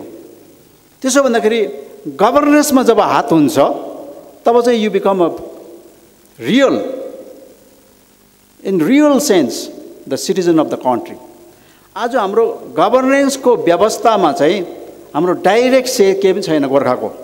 Direct we have no say हाम्रो अधिकारै छैन। कन्स्टिट्युसनल राइट रिजर्भ राइट हुनुपर्ने हामीलाई। एक पर्सेन्ट मान्छे जस्तोलाई रिजर्भ राइट हामीलाई भारतको संविधानले दिएको हुनुपर्छ हामीलाई। तर आजसम्म हामीले त्यो पाएका छैनौँ।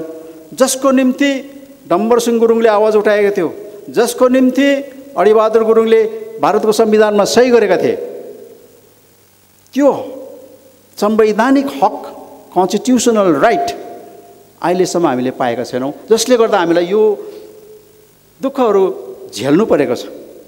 दुःखहरू झेल्नु परेको छ। त्यसले गर्दाखेरि यो बङ्गालको सरकारले भन्ने कुरामा होइन ममता दिदीले ठिकै भनेको छ यो विषयमा म केही पनि भन्नु सक्दिनँ भनेर। तिमी गोर्खाल्यान्ड माग्छौ माग त्यो मेरो मेरो विषयवस्तु होइन भनेर भनेछ। अर्थात् हामीले न्याय पाउनुपर्ने कहाँ हो भन्दाखेरि भारतको संविधानभित्र हो। न्याय चाहिँ कहाँ कहाँ पायौँ भन्दा आन्दोलनित रहित भएर आन्दोलन गरेर मात्रै पाउँदैछौँ हामीले। हाम्रो भाषालाई एथ सेड्युलमा हाल्नुको लागि धेरै धेरै नै दुःख गर्नु पर्यो। अरूको त्यसै भइहाल्यो। त्यसै त्यसै भारतको संविधानको एथ सेड्युलमा भाषालाई मान्यता पाइहाल्यो। तर हामीले धेरै सङ्घर्ष पऱ्यो धेरै दुःख गर्नु पऱ्यो हाम्रो अग्रजहरूले बहुत दुःख गर्नु पऱ्यो अनि पहिला पहिला गरेर भारतको संविधानभित्र हाम्रो हकको झगडा हुँदैछ। अब यसपालि जुन विचार आएको छ कि भारतवर्षमा चाहिँ हामी एक ठाउँमा मात्रै छैनौँ। सारा भारतमा छरेर बसेका छौँ। From the length and breadth of the country भने जस्तो हुन्छ। जुन पाँच भूभाग आयो पहिला सुरु अङ्ग्रेजको टाइममा सुगोलीको सन्धिको भूभागमा त्यो क्षेत्रमा बस्ने जति पनि मानिसहरू छ उहाँ पनि सबै हामी गोर्खा नै हो। उहाँहरूको पनि हकको व्यवधान प्रावधान सेफगार्ड केही भएको छैन। आसाममा सबभन्दा बेसी छौँ हामी। आसामको पनि केही छैन। आसामको सातवटा स्टेटमा छैन। त्यसले गर्दाखेरि चाहिँ आसाम गभर्मेन्टले एउटा काम गरिदिएको छ। गोर्खा काउन्सिल एउटा बनाइएको छ त्यहाँनिर। त्यो चाहिँ सर्व आसामको लागि हो आसामको जम्मैमा गोर्खाजहरूको लागि उसको कल्चरको लागि उसको गोर्खाजहरूको to preserve protect the interest of the Gorkhas living within Assam यो भनेर भनेको छ। उनीहरूको सोसियल इकोनोमिक अपलिफ्टको लागि एउटा युनिट बनाइएको छ। गोर्खा काउन्सिल बनाइएको छ। त्यहाँबाट कति सघाउ राजनैतिक अधिकार चाहिँ दिएको छैन त्यहाँनिर। हामीले राजनैतिक अधिकार पाएको छैनौँ। जुन अधिकार आज यो गोष्ठ यो मञ्चले भन्दैछ कि अल इन्डिया गोर्खा एसेम्ब्ली हुनुपर्छ भनेर यो एउटा विचारधारा भारतीय गोर्खाहरूको एउटा मञ्च छ जसमा हाम्रो सिके श्रेष्ठ दाजु पनि हुनुहुन्छ उहाँ। यसको अग्रज हुनुहुन्छ। उहाँहरूले जुन चाहिँ विचारधारा ल्याउनु भएको छ एउटा यो अल इन्डिया गोर्खा हाम्रो एसेम्ब्ली हुनुपर्छ जहाँ हाम्रो representation in the governance of the country हुनुपर्छ आज त्यो विचारधारालाई यहाँनिर एक्सेप्ट गरिएको छ। गोजामोमो पार्टी विनय पन्थीले सबभन्दा ठुलो विचारधारालाई उहाँले एक्सेप्ट गर्नुभएको छ र यो भित्र हामी अगाडि बढ्दैछौँ। यो भित्र जाँदाखेरि दुईवटा तिनवटा सन्धि इम्पोर्टेन्ट छ। यो सुगोलीको सन्धिको भूभाग आएको बादमा म अझै एक लाइन थपेर जान्छु हजुरलाई।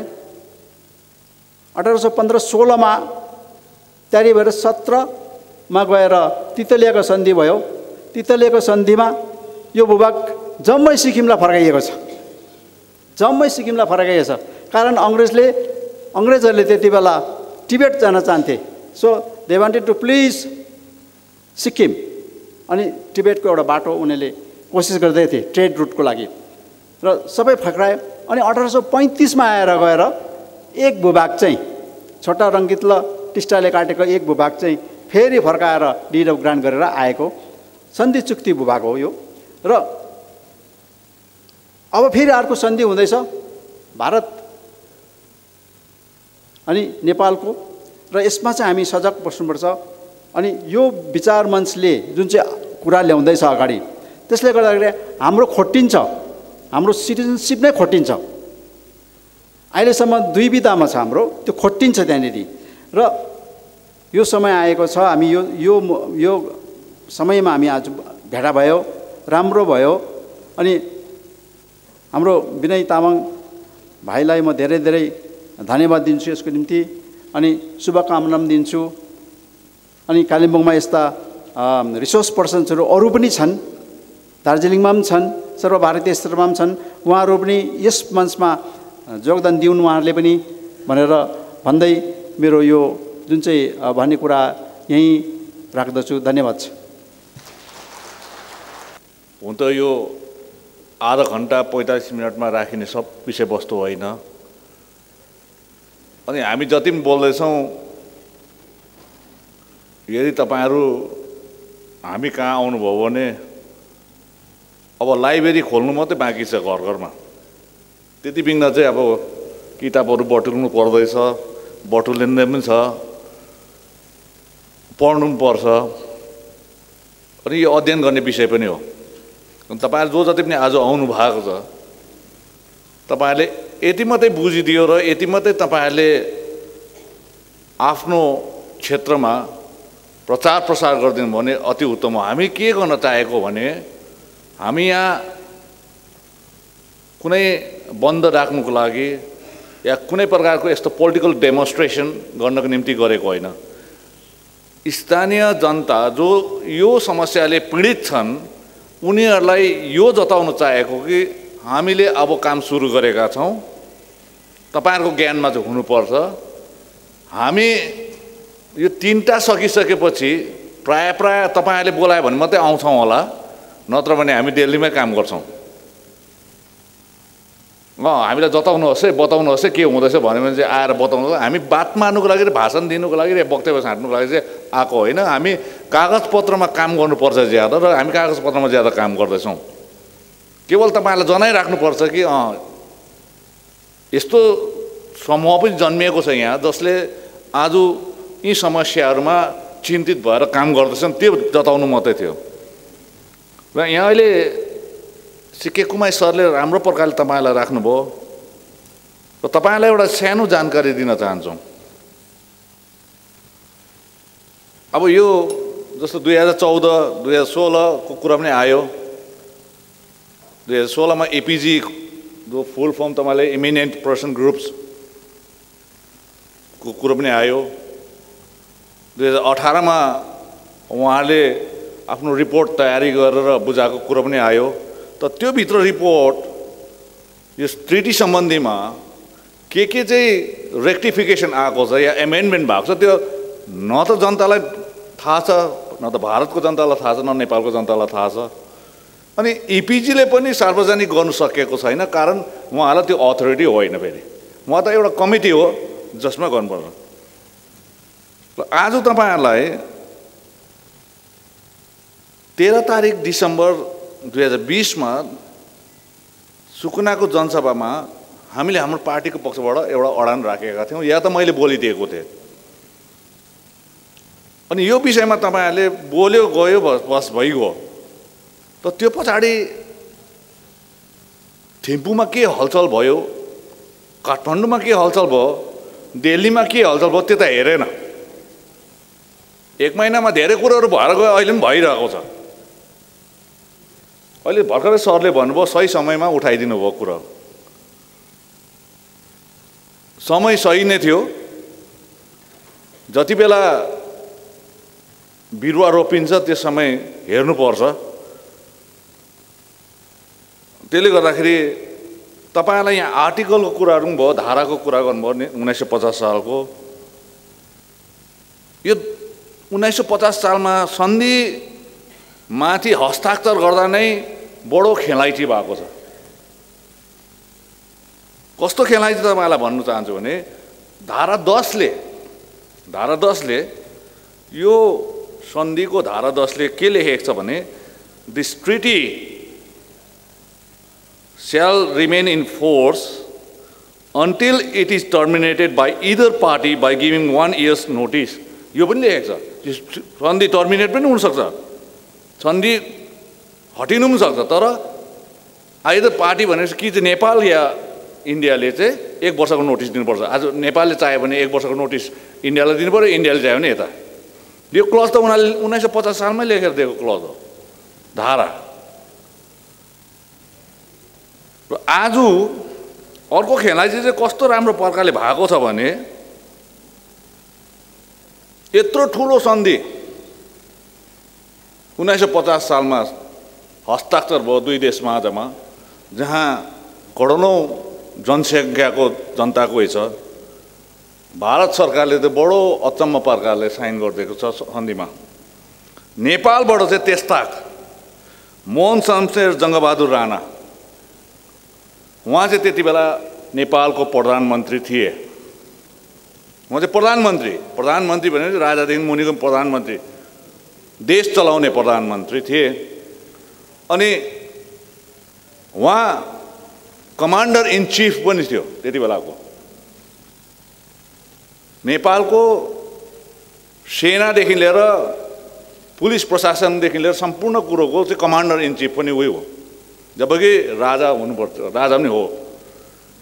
तर यतापट्टि प्रोटोकलै हेऱ्यो भने जब भा नेपालको प्रधानमन्त्रीले त्यो सन्धिमा हस्ताक्षर गर्दैछ भने प्रोटोकली प्रोटोकल पनि हेर्नुपर्छ। आज म बस्दाखेरि यता सानै पार्टीको किन नहोस् प्रेसिडेन्ट बस्यो भने मजा आउँछ नि। शाखाको प्रेसिडेन्ट चाहिँ एउटा पार्टीको राखेर म चाहिँ यताको प्रेसिडेन्ट राख्दा त प्रोटोकल मिलेन। र यताबाट ने भारतबाट चाहिँ भारत सरकारको पक्षबाट चाहिँ को छ भन्दाखेरि चाहिँ चन्द्रेश्वर प्रसाद नारायण सिंह उहाँले हस्ताक्षर गरे उहाँ चाहिँ को भन्नुहोस् त? भारतको राजदूत पो फेरि। सिग्नेचर गरेको छ भारतकोले चाहिँ। राजदूतले उताको चाहिँ प्रधानमन्त्रीले गरेको छ। प्रोटोकल मिलेको छ। यहीँ खेलाइची भएको छ हेर्नुहोस्। खेलाइची यहाँ छ। प्रधानमन्त्रीको प्रधानमन्त्रीले हुनुपर्ने या परराष्ट्र मन्त्री हुनुपर्थ्यो। भारतको परराष्ट्र मन्त्रीले त्यति बेला गर्नुपर्ने थियो। एउटा राजदूत एउटा प्रधानमन्त्री।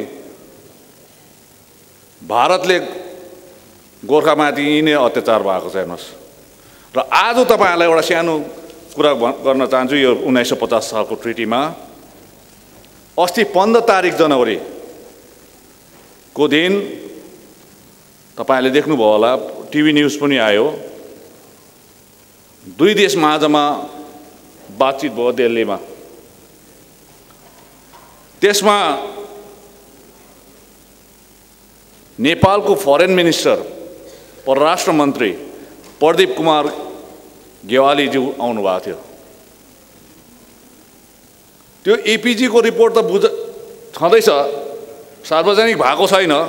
नभइकन पनि नेपालले के राखे पक्ष Nepal wants India to revise the nineteen fifty friendship treaty to reflect new changes and realities हामी एक्काइसौँ शताब्दीमा छौँ। धेरैवटा परिवर्तन आउनुपर्छ भन्ने कुरोमा चाहिँ उहाँले राखेको छ।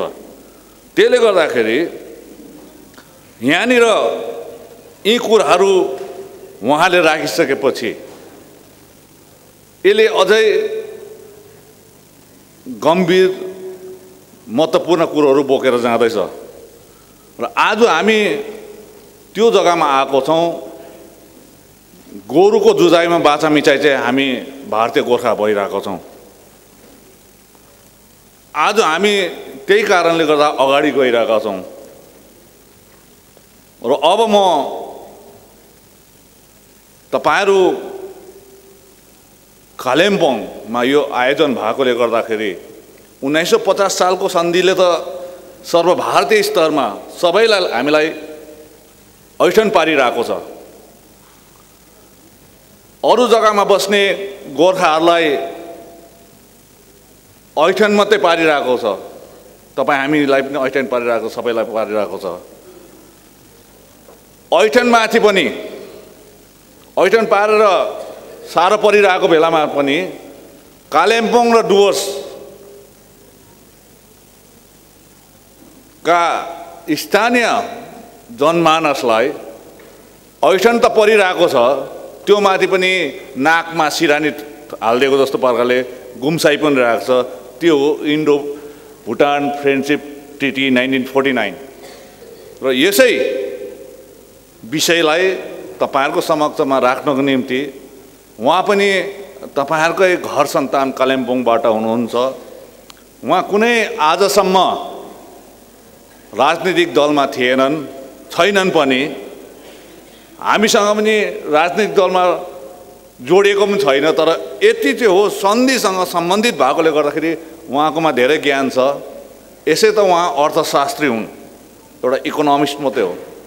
तर इकोनोमिस्ट हुँदाहुँदै पनि अर्थशास्त्री हुँदा हुँदै पनि यो सन्धिहरू बारेमा ज्यादा ज्ञान रहेकोले गर्दाखेरि उहाँ श्री गौतम कालीकोटीज्यू जसलाई म उन्नाइस सौ उन्चास सालको Indo Bhutan peace and friendship ट्रिटीमाथि केही अंश जसले यी भूभागलाई घोचिरहेको छ या बस्नेहरूलाई ऐठन पारिरहेको छ त्यो माथि उजागर गर्नको निम्ति म यो डायसमा निमन्त्रणा दिँदछु